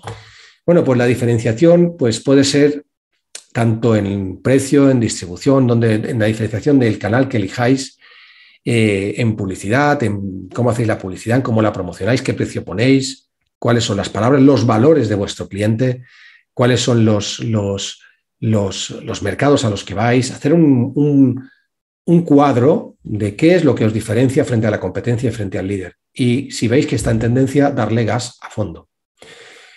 Mi consejo siempre es, en, en plan de marketing digital, en nuestro plan, es enfocar a un solo lector presentar una gran idea o producto hacer una sola promesa y hacer una sola oferta. Que en vuestra comunicación y en vuestros canales no haya 200 cosas a elegir, porque el cerebro no da para más. Facilitárselo. Es la manera de llegar. En vuestro plan de marketing tenéis que pasar por lo que se llama el DAFO.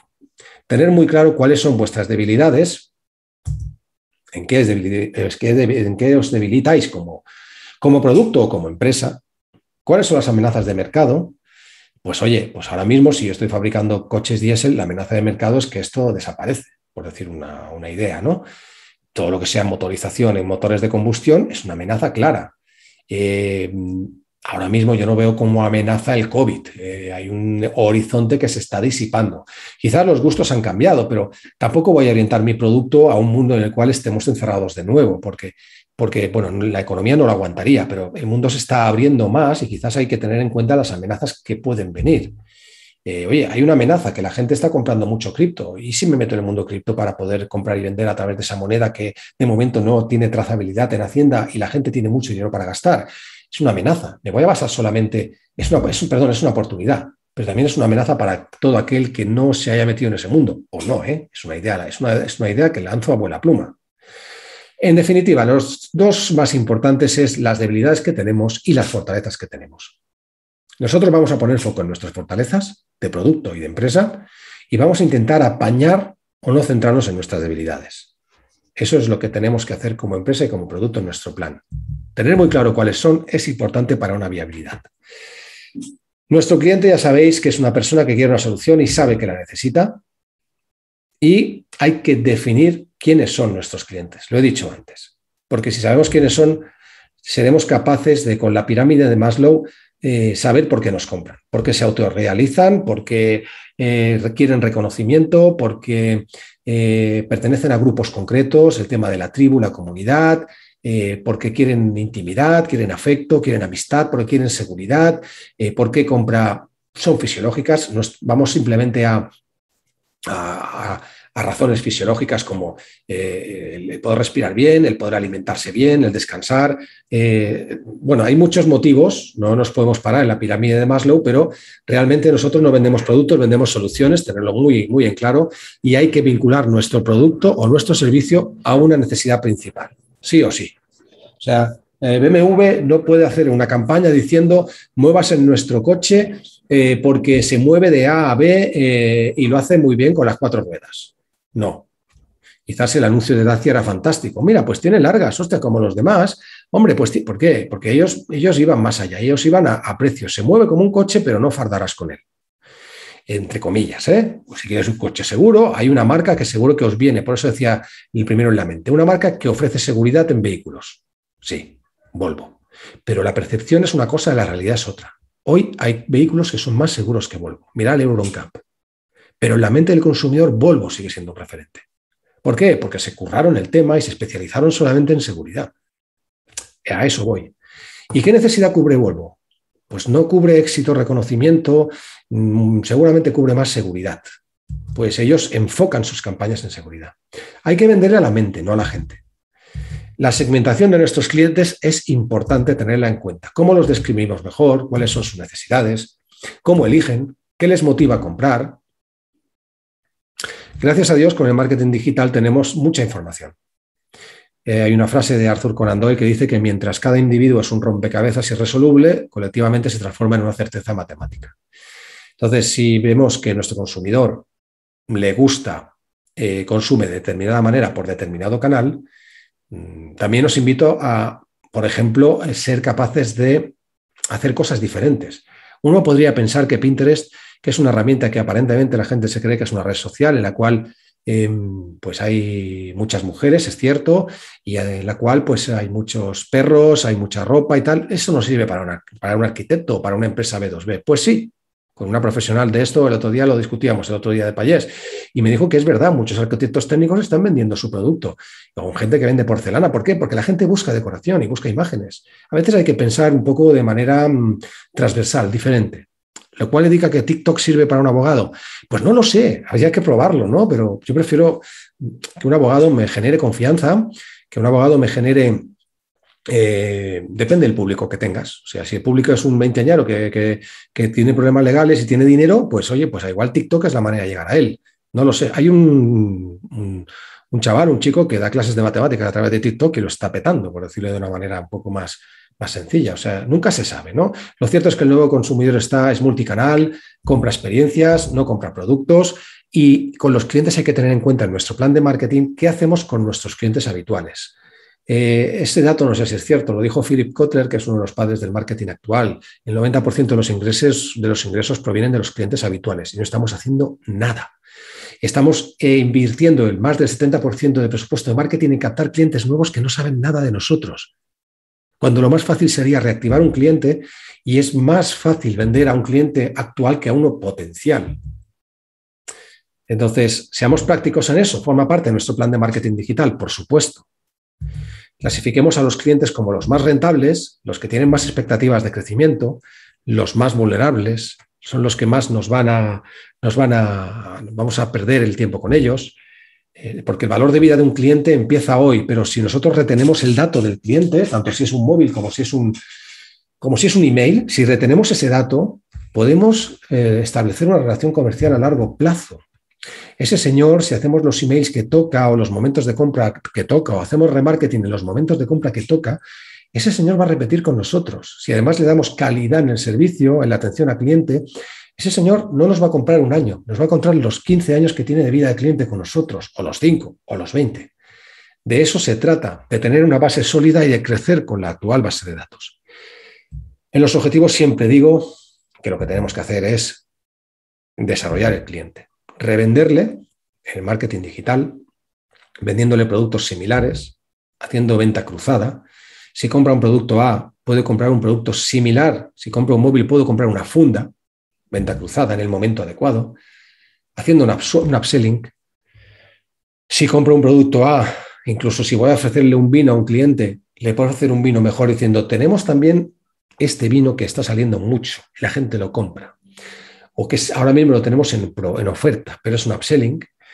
Eh, son técnicas de reactivación de cliente cuando sabemos a través de un CRM, como Active Campaign, por ejemplo, o a través de un CRM normal, sabemos que un cliente hace tiempo que no entra en nuestro comer, en nuestra tienda física, podemos reactivarlo enviándole un WhatsApp o enviándole un email o un Telegram. Oye, mm, fulanito, mm, tenemos una oferta para ti que es esta. Y ese de, ah, pues no pensaba en eso. Reactivar el cliente o jugar con juegos de referidos, ¿no? Eh, si tú vienes y se lo dices a un cliente, pues bueno, ¿cuántas empresas Dropbox, Gmail han crecido con este sistema de referidos? Si se lo dices a cinco amigos que le pueda interesar, te doy 100 megas, o si se lo dices, te hago un descuento del 20 y tu amigo un 30. Los programas de referidos, el, tal. Bueno, hay una definición que me encanta de un tal Rolando Arellano que dice que el marketing no es vender, sino que te vuelvan a comprar. Nuestro marketing tiene que ir orientado a captar datos para poder hacer eso saber qué hacer para mantener a nuestro cliente, para reactivarlo, desarrollar el cliente con upselling, venta cruzada o con bundling, que es paquetización. Siempre podemos paquetizar nuestro producto y nuestro cliente nos comprará un, producto paquetizado más que un producto a solas, ¿no? La paquetización está desde el hotel, que viene con el vuelo y con el coche incluido, el seguro o el restaurante ya reservado o el producto que viene con el peto del niño que viene con la pulserita a juego de la niña. No lo sé. Paquetizar vuestros productos y servicios, y digo servicios, es muy interesante. En pricing, a veces yo recomiendo la película del bueno, el feo y el malo porque indica muy bien lo que podemos hacer a la hora de vender un producto o servicio en nuestra planificación de marketing. Y es decir, cuando creéis un producto o servicio, nunca hagáis uno solo, haced tres el de en medio, que sea el bueno, que tenga todo lo que necesita el cliente. El de la izquierda, que sea el, feo, porque tiene muy pocas cosas y tiene mucha, muy poca diferenciación en precio.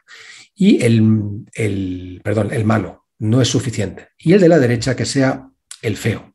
¿Por qué es feo? Porque tiene muy poco más y el precio se dispara al doble que el de en medio, que es el bueno. Veréis, nuestro cerebro, si le damos solamente a elegir un solo precio, un solo producto, mm, se va a ir de nuestra página y se, va se iba a ir a la competencia a ver otras cosas. Si a nuestro cerebro, al del cliente, le damos a nuestra propia página, a nuestra propia red, tres cosas a elegir, eh, ya no se pregunta si ese producto es bueno o malo. Su cerebro está pensando, ¿cuál elijo? Hemos dado un paso psicológico de neuromarketing importantísimo. Nuestro cliente ya no elige este sí o no, ya no está pensando en bits 1 0, está pensando más allá. Da por hecho que tiene que elegir entre tres y esto en el subconsciente funciona muy bien. Y las campañas que atacan a eso también funcionan muy bien. Pero hoy no hablamos de táctica, de campañas, hablamos de estrategia. Y estamos elaborando nuestro producto en base a estrategia. Estamos, estamos jugando con la base, con un buen arquitecto, estamos jugando con, con, qué productos voy a poner, cuál va a ser la base, cuántas habitaciones voy a tener y si estaré a gusto con ellas, tendré piscina, tendré aire acondicionado, será una passive house, pero eso es lo que hay que pensar antes de lanzar la campaña, donde en la campaña se habla de qué, de producto, de necesidades, también se habla de a quién va dirigida. No sé si esto tiene sentido para nosotros, ¿no? Aquí tenemos, por ejemplo, un ejemplo de qué hacer nuestro planteamiento el malo, el bueno, el feo. Como esto queda grabado en las sesiones, pues luego podéis echarle un vistazo. Pero aquí veis un poco un ejemplo burdo, un poco para lerdos, muy fácil, en el cual podéis ver cómo hacer vuestra estrategia de, pricing. ¿no? Muy importante en nuestro plan de marketing, quizás voy un poco rápido, pero para eso os van a remitir, supongo, este mail, este, este webinar y a los que estéis escuchándolo también. Al final, un plan es ponerse un objetivo. Yo quiero hacer deña y estoy en Mallorca. Y a veces eh, tenemos tantas cosas que esa frase que, os soltaría ahora tiene mucho sentido, más que nunca. El que no sabe a qué cosas atender y de cuáles hacerles caso omiso, atiendemos a lo que no tiene importancia y hacemos caso omiso de lo esencial.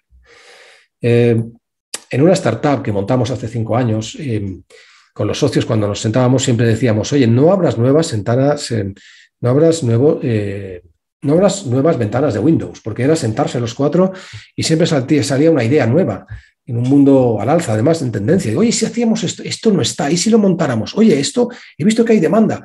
Y al final teníamos que decir, no abras ventanas de Windows, vamos a enfocarnos en lo que tenemos, no hagamos de abejita, como decía al principio.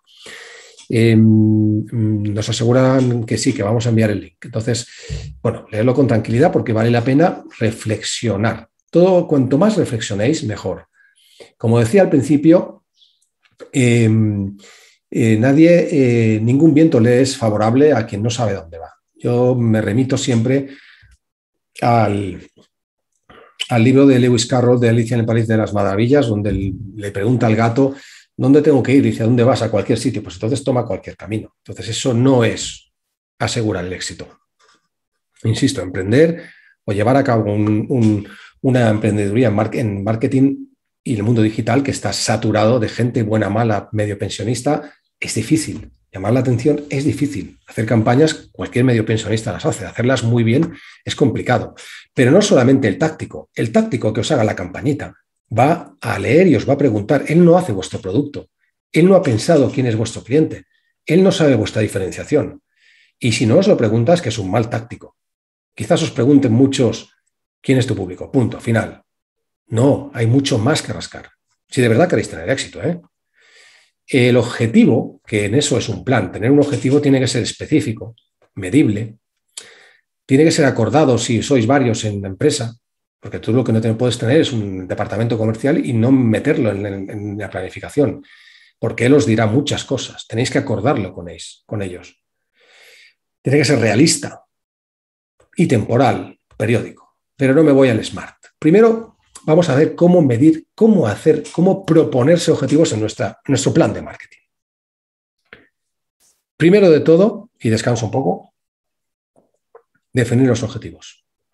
Bueno, yo quiero ser el número uno en, ropita ecológica para mascotas, porque he visto que las mascotas están al alza en un mundo, sobre todo en España, que nos quedamos sin, sin, está mal visto tener hijos, no queda progre, no queda guay y hay que, hay que tener, pues las mascotas están al alza. Hay más mascotas, creo que en Madrid hay dos mascotas por cada hijo que nace. No sé quién se va a jubilar, ni con qué condiciones, ni quién va a trabajar para las pensiones del futuro. Pero estamos despoblándonos. Bien, vamos a definir los objetivos. Quiero ser el líder en ropa de mascotas ecológica. Perfecto. Vamos a definir, segundo punto, cómo llevarlos a cabo. Bueno, pues para ser el líder en mascotas ecológica, voy a llevarlo a cabo de esta manera. Voy a hacer eh, branding mi marca, mm, voy a captar datos, de, mascotas, de gente que tenga, además, eh, sea eco-friendly, o sea, amante de las mascotas y además eh, amante del mundo ecológico. Luego, determinar prioridades. En la ley de Pareto, el 20-80. Determinar qué 20% de cosas va a suponer el 80% de resultados. Esto con un histórico es muy fácil. Si yo he medido las campañas que he hecho anteriormente, sé cuál me ha funcionado y cuál no. Entonces, ¿qué hago? Replico las que me han funcionado y las que no, analizo por qué y si no, a la basura. Replico lo que funciona. Si yo sé que una campaña me funcionó y tuvo mucho clic, mucho porcentaje de clic esa campaña y me costó muy, muy poquísimo el clic y la venta, pues puedo decir que haciendo esa campaña puedo poner foco como prioridad hacer esa campaña.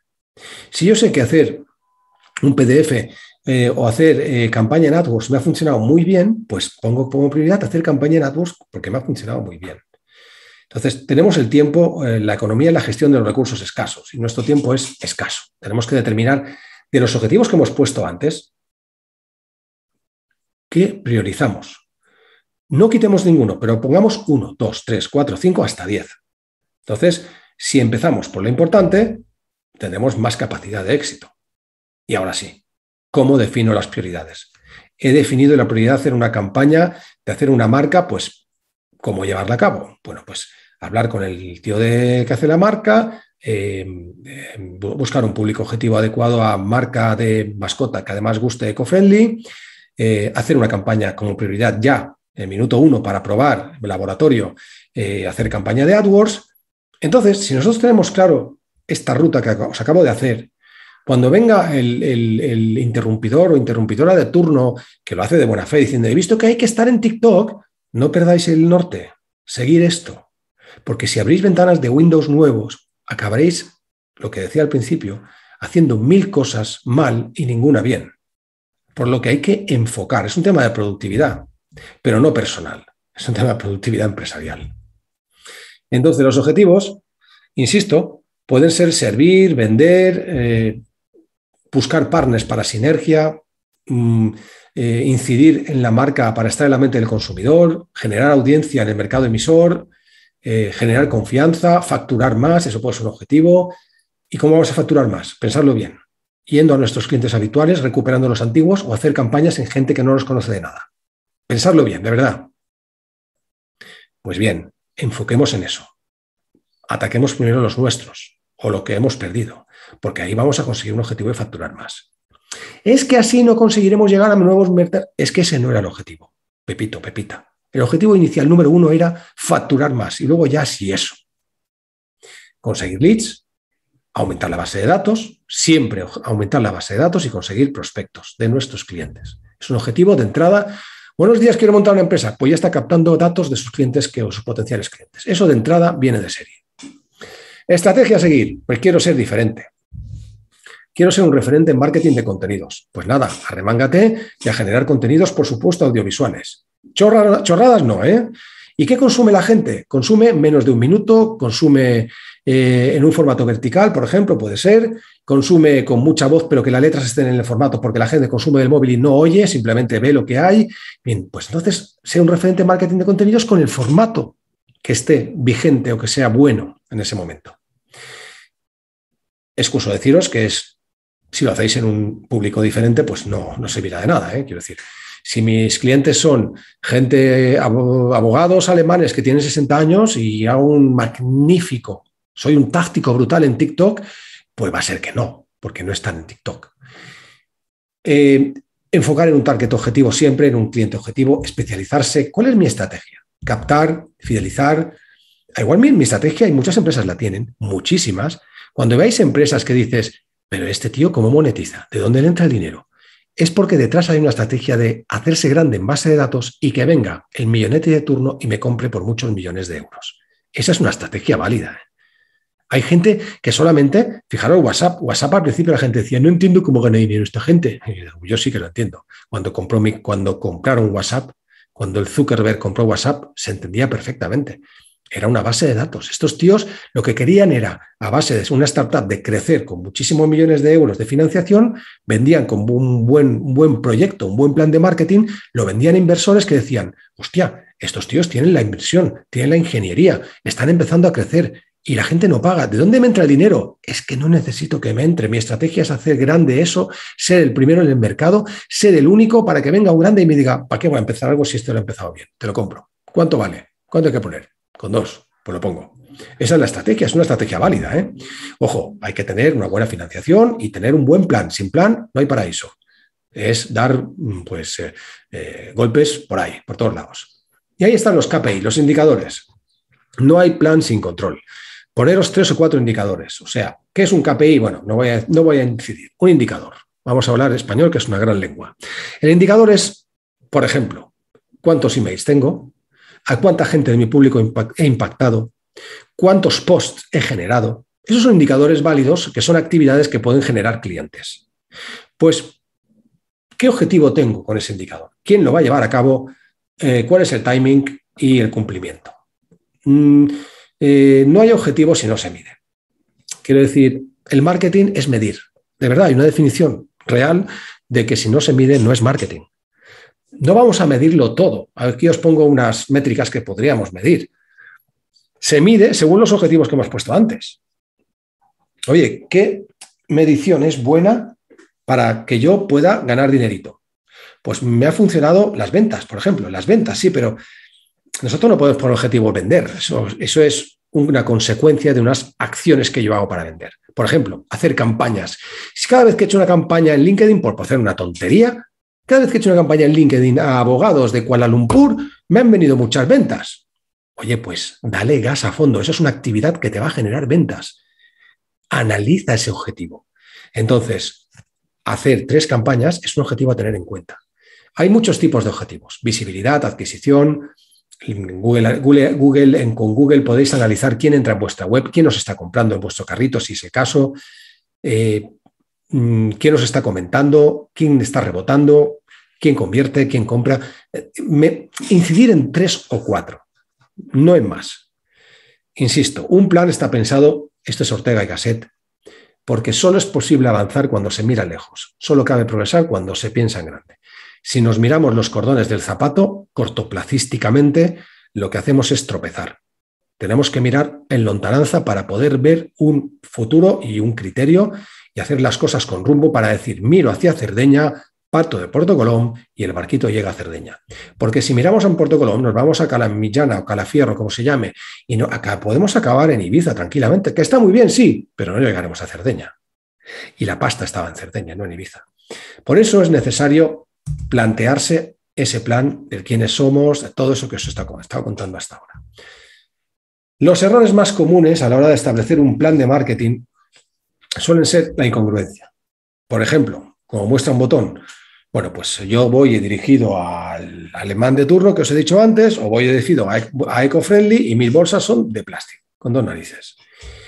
Eh, o, por ejemplo, en muchos bancos tenemos un trato personalizado. Hacemos, eh, la persona es nuestro fin. Somos humanos. Y vas ahí y tienen a los ancianos haciendo cola y los llevan de un banco a otro porque cierran y porque les hacen ir al, cajero, no entienden un pimiento, les intentan meter en, botados en el mundo digital y no van a entender un anciano de 80 años qué narices es WhatsApp y qué narices es bajarse una aplicación. Y luego están de manera incongruente diciendo somos humanos y entendemos a nuestra gente y ponen un anciano ahí contento una foto de Photostock. Venga ya, congruencia. Es un error. No tener estrategia es un error. No ponerse objetivos. Mi objetivo es hacer tres campañas sí o sí de Google AdWords. Es que hay que hacer TikTok. Bueno, pues ahora hago las campañas y luego si tengo tiempo haré TikTok. No responder a comentarios, estar siempre al quite. Medir éxito en fans es un error. Los seguidores en general, tener seguidores no implica nada porque los algoritmos de, los, de las redes no implican que cuando publiquemos algo lo vean. Creo que en Facebook es un 5%, en LinkedIn es un 3%, pero es que ni eso. Las redes quieren que vosotros paguéis. Si pagáis, seréis felices. Tener seguidores en, el, en general y generalizo, no me, no me busquéis, eh, no me busquéis eh, eh, bueno, pues, las, las, cinco patas del gato, no, no, me vais a encontrar en muchos renuncios porque es muy difícil en dos horitas explicaros todo el marketing del mundo y la estrategia para vosotros ser millonarios y retiraros. No funciona así aunque hay muchos que venden motos, pero no, no es mi caso. Están vendiendo un producto demasiado o poco es un error, tal cual, porque luego vienen las roturas de stock. Algo pasa. Y esto podría ser un plan de marketing. Resumiendo y ya yendo, llegando a puerto, porque no hay preguntas. ¿Más preguntas, señoría? Pues primero identificar los objetivos. Basarnos en un histórico, el histórico de lo que llevamos hecho. ¿Quién es mi cliente? Porque muchas veces, eh, basando nuestros objetivos estratégicos en yo voy a hacer un plan basado en qué producto tengo, qué precio voy a poner, cuál va a ser la distribución, cómo lo voy a distribución a, través de terceros, en un supermercado, dónde lo voy a vender, en Shopify, en Hotmart, no lo sé. ¿Cómo lo voy a promocionar? ¿En qué canal? ¿Cuándo? ¿Cómo? Presupuesto. ¿Qué presupuesto tenemos? Es que quiero un plan de marketing, voy a hacer un plan de marketing, pero no tengo presupuesto. Bueno, pues hasta luego. Busca financiación. Friends and Family. A ver, que puede sonar la flauta. Puede. Pero, de verdad, no quiero tumbaros abajo, pero si hay un emprendedor y quiere emprender algo sin un presupuesto, está difícil. ¿eh? Sobre todo porque al final nos dejamos engañar por la web, que magnífica ha quedado, pero luego no hay más. ¿Cómo traemos gente a la web? Ah, no tengo un duro. ¿Qué canales vamos a usar? Esta es la pregunta que muchos me vais a hacer desde el principio y es, ¿qué canales voy a usar? Es que no lo sé. Bueno, primero, a veces yo los planes de marketing los hago identificando el cliente. Si sé que mi cliente es X, si sé que es eh, pues, un consumidor de Spotify porque le gusta la música no sé qué, si, si sé que lo puedo pillar por ahí, primero mm, identifico al cliente o a mis dos clientes o a mis tres clientes. Entonces, eh, luego empiezo a investigar qué canales les gusta a estos clientes. Entonces, me puedo dar cuenta, y, a veces los canales no son digitales. ¿eh? O sea, si yo quiero llegar, por ejemplo, al alemán que tiene pasta y compra inmuebles de alto valor y es un tío que tiene 50 años, 60 años con pasta, tiene un BMW y va a la zona de Bendinat, por decir algo, a la zona de tal, y juega al golf, eh, atención, juega al golf. Pues igual tengo que poner un estante en los campos de golf, o dejar un folleto allí, o hacer un evento allí. El campo de golf en sí puede ser una manera de, eh, al final son eventos, ¿vale? O puede ser relaciones públicas, con una comida. Los canales no solamente son digitales, pero los canales digitales nos pueden ayudar a llegar para hacer el evento o para hacer la comida. Las métricas. ¿Cuáles son las métricas? Estamos identificando los objetivos. Bueno, pues mis métricas van a ser conseguir emails y móviles de millonetis, conseguir eh, base de datos de clientes, conseguir llegar alcanzar a clientes reales en las redes de, que hagan falta conseguir porcentaje de clics en los anuncios de Google Ads o de, YouTube Ads, por ejemplo, las métricas. Segundo punto, la organización. ¿Y quién lo va a hacer? ¿Tú? ¿Yo? ¿Un externo? Manual de estilo. Si es un externo, soy tú y yo, tengo que poder decirle quién soy. Todo ese plan de marketing luego va a todos un subcorda que quiera trabajar con nosotros. Es que fulanita es una community del carajo. Bueno, fulanita, aquí tienes mi, mi marca léetela, porque no quiero que vayas a Pepitos, quiero que vayas a Pepitas del mundo ecofriendly, que es mi cliente. ¿Vale? Eh, manual de estilo, aunque sea breve, insisto, una sola hoja es suficiente. Tercer punto, verde, que te quiero verde, analizar quiénes somos, la compañía, cómo es nuestra marca, quién es la competencia, quién es mi cliente, cómo está la industria en la que estamos. Si es metalúrgica, si es el sector de la consultoría, si es el sector del automóvil, analizarlo un poquito, anda, hacer, buscar, hacer búsquedas, haceros pasar por cliente, poneros los zapatos, porque esa información se saca mucho. Cuarto punto, la tecnología de nuestro plan de marketing. ¿Qué canales vamos a usar? Vamos a usar un CRM o un Excel simplemente. Vamos a escuchar, vamos a analizar a través de programas.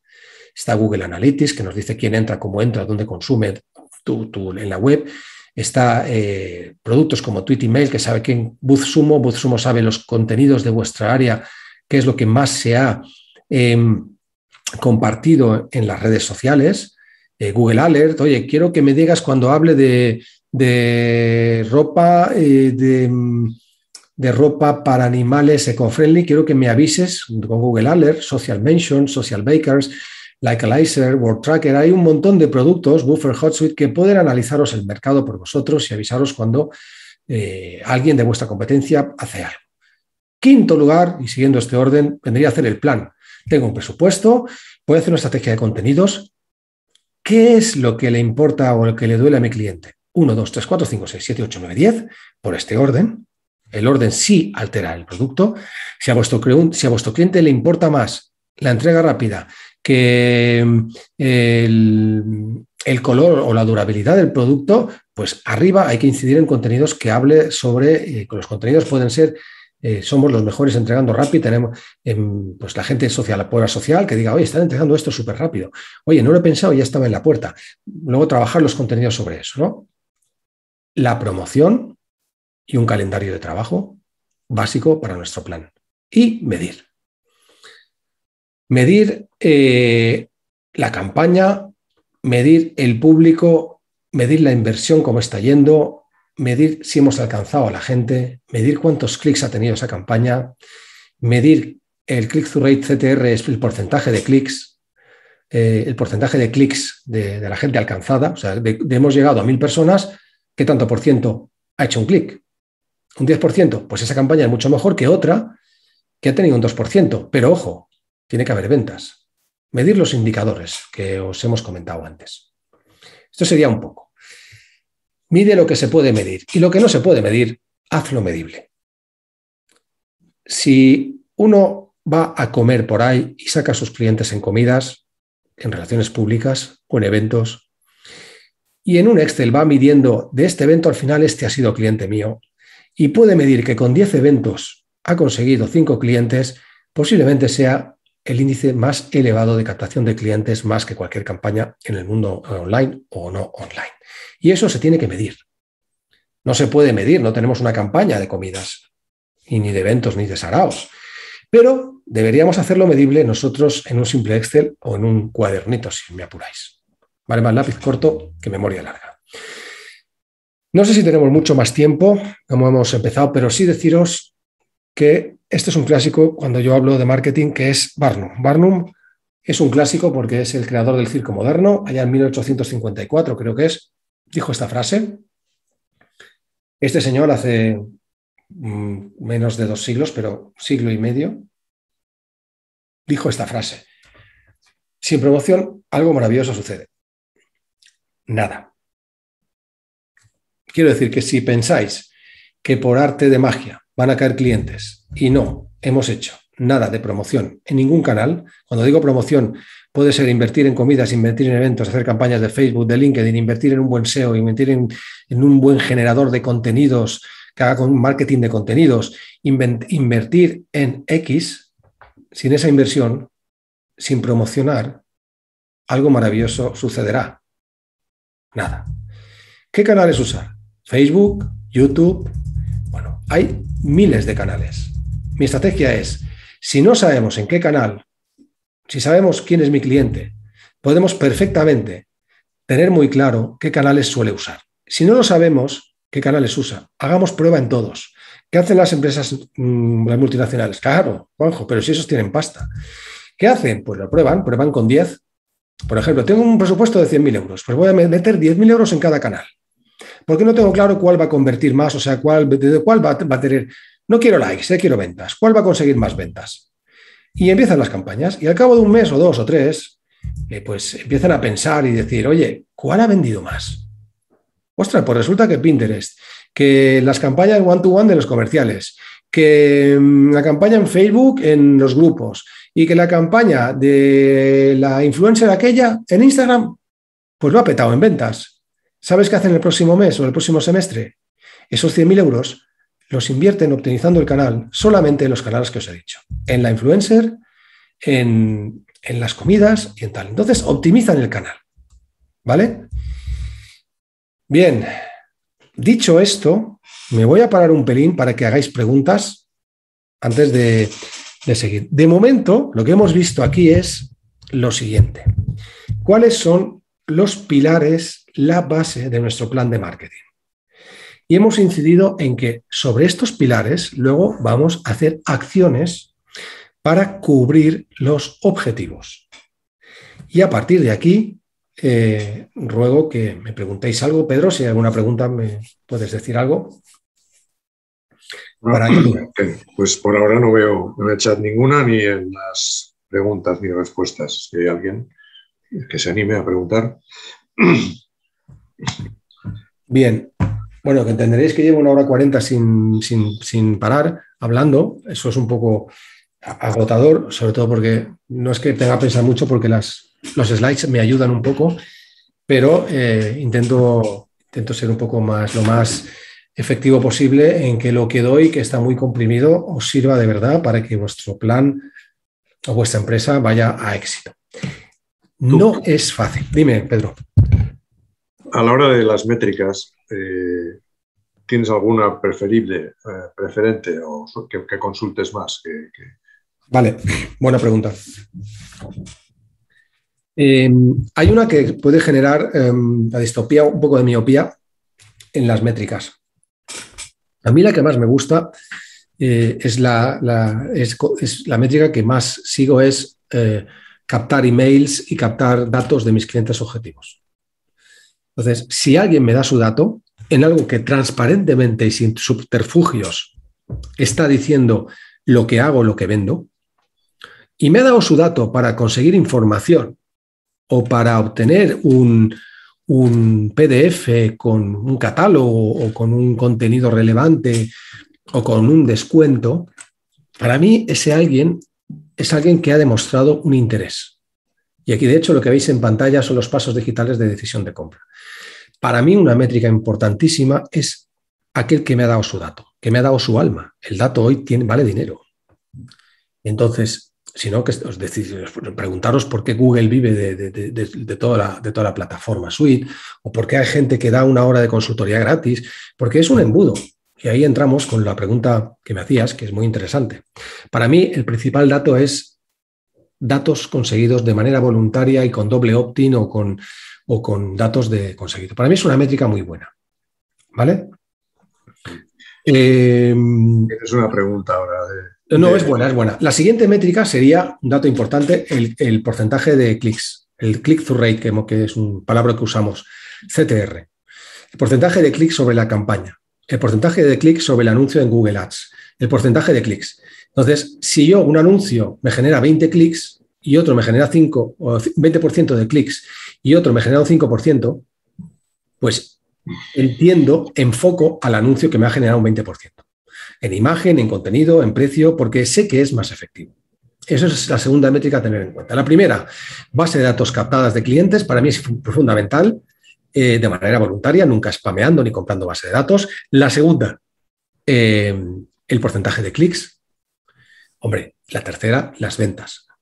Entonces, si yo puedo traquear, Pedro, o puedo decir, yo sé que esta venta me ha venido por aquí, que se puede saber a través de Google Analytics, pues em, si yo sé esto, automáticamente puedo, eh, puedo perfectamente centrarme en el canal de donde me ha venido más ventas. Porque a veces, y ahí es donde quería incidir, Podemos tener un éxito en campañas, pero en ventas nada.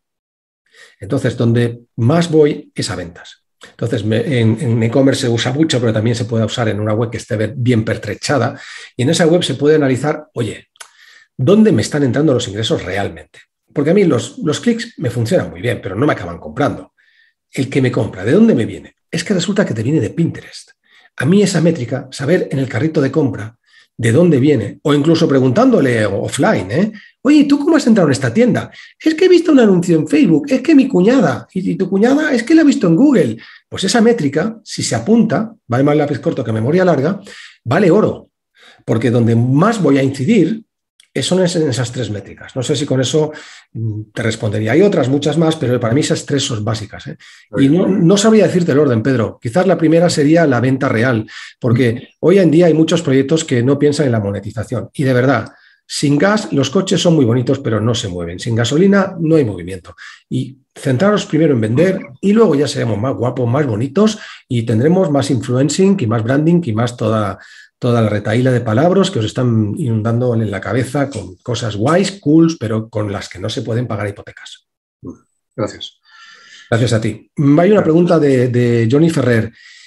Eh, nos dice que tiene un proyecto que está lanzándola, cree, cree que no va mal, enhorabuena. Siempre hay que ir pivotando, Johnny. Nadie hace perfecto y hay que aprender.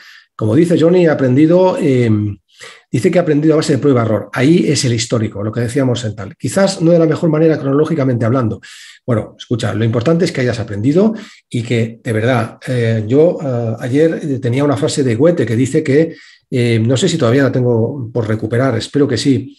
La frase es magnífica, la estoy buscando en mi email porque me la puse incluso en mis asuntos de WhatsApp porque creo que es importantísima. La, frase de, de Goethe es, el único hombre que no se equivoca es el que nunca hace nada.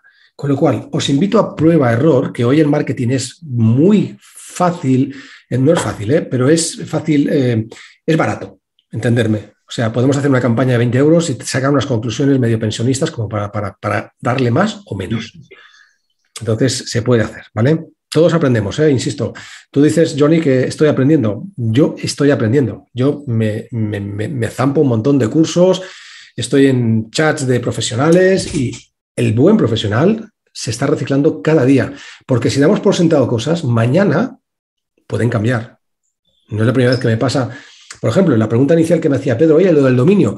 Hubo un tiempo en que, en que yo me acuerdo que me iba a Cataluña a dar un curso a, hoteleros y, en mis slides ponía que el nombre ayuda a posicionar. Hostia, si yo leyendo en el hotel estaba leyendo que John Mueller de Google estaba diciendo que eso ya no posiciona. Tuve que cambiar el slide. O sea, es un mundo en el cual el cambio es permanente. Por eso es importante tener una buena base. Hay algo que no cambiará, que es lo que casi, casi todo lo que os he contado hasta ahora. Las necesidades, enfocaros en necesidades, enfocaros en tendencias, no seáis, eh, el, marketing se mueve, hay movimiento, lo que no cambio es el cambio, perfecto, es lo que está diciendo yo en estos momentos, todo cambia menos el cambio. Entonces, es verdad que esto nos genera una ansiedad, un estrés brutal, no sabemos a qué atenernos, pero si tenemos muy claras las cosas que hemos dicho en este plan de marketing, como quiénes somos, y si tenemos claro que no hay hueco de mercado y que lo hemos intentado, pues pivotemos. Palabra que yo uso mucho y que tengo que explicar. Pivotar es saltar de una cosa a otra. Oye, los chinos lo hacen magníficamente bien. Si veo que este restaurante no funcional, yo cerrar y montar todo a 100. Si veo que todo a 100, no, no tengo apego a mi marca. Yo lo que quiero es adaptarme al mercado. Y si la gente busca patinetes, pues voy a alquilar patinetes. Pero si ya no los busco, no los alquilo. el momento es muy importante. Puedes tener una buena idea, y esa buena idea, voy a poner un segundo, digo que el momento es muy importante. Tú puedes tener una idea fantástica, pero no sé el momento. Creo que en Palma hubo uno que hace pues, eh, pues siete años montó una, allí por, por el casco viejo, montó una tienda de alquiler de patinetes. Es que la cerraron, porque no era el momento. Luego vino el aluvión de patinetes y las compañías, que en Palma no hay, porque no hay regulación, que alquilan patinetes y la gente que va en patinete que algunos son unos salvajes y van sin casco, sin, por su sitio que no toca y qué tal, pero otros lo usan con conciencia, hay que decirlo todo. Pero el momento de ese chaval que tenía una buena idea de montar una tienda de patinetes para alquilar a turistas en el centro de Palma, la legislación no iba en contra, no había legislación, pero es que no era el momento, fue un año después o dos. Es la alineación de Plutón-Mercurio. Eh, pero aún así, el marketing, creedme si os digo, que yo ya soy perro viejo, llevo desde el 88 en marketing, el marketing hoy es baratísimo. Alguien era carísimo hacer. Antes se hacían planes de marketing y se repetían cada año, las empresas nacionales y multinacionales. Las empresas en general vendían algo e iban a ciegas, no sabían qué vender, lo que les daba el distribuidor. Luego podían, mm, según el escandal, podía ver que había un 20% de cosas que vendían más. Se hacía histórico, pero no tenía ninguna base de datos donde mirar. No había Facebook Ads, no había Google Ads, base de datos, no había estas, estas herramientas que hoy nos, nos, nos, nos, las dan gratuitamente, además, de una manera muy buena. También es verdad que hay saturación. Antes no había. Mi consejo es hacer las cosas de manera diferente y siempre mm, tendréis más punch, más llegada al mercado. Y mi consejo siempre es pensar, como dice, que creo que fue también David Ogilvy, que vuestro cliente no es idiota, es tu mujer. O sea, es alguien que vive contigo, duerme contigo. No somos tontos. El consumidor no es tonto. O sea, no le vengas con una campaña todo a 100 que te ha hecho el, porque es que no vas, a, no vas a impactar ni vas a conseguir hacer branding ni todo eso que, estamos diciendo aquí, ¿no? Y mi segundo consejo también, o tercero o cuarto, es, de verdad, no vayas por el branding, el branding es muy caro. El tema de marca es carísimo, salvo, insisto, que tengáis unos objetivos que hay un caso o dos que sí es aceptable el marketing. Cuando habéis hecho una rueda de financiación de un par de cientos de miles un millón de euros o dos y el branding significa generar expectativas, generar marca y luego queráis vender la empresa a un tercero, bueno, sí, para hacer marca. Si sois una multinacional y tenéis en esa multinacional el eh, apartado de branding, por supuesto, el branding es cojonudo, es perfecto para la mente del consumidor.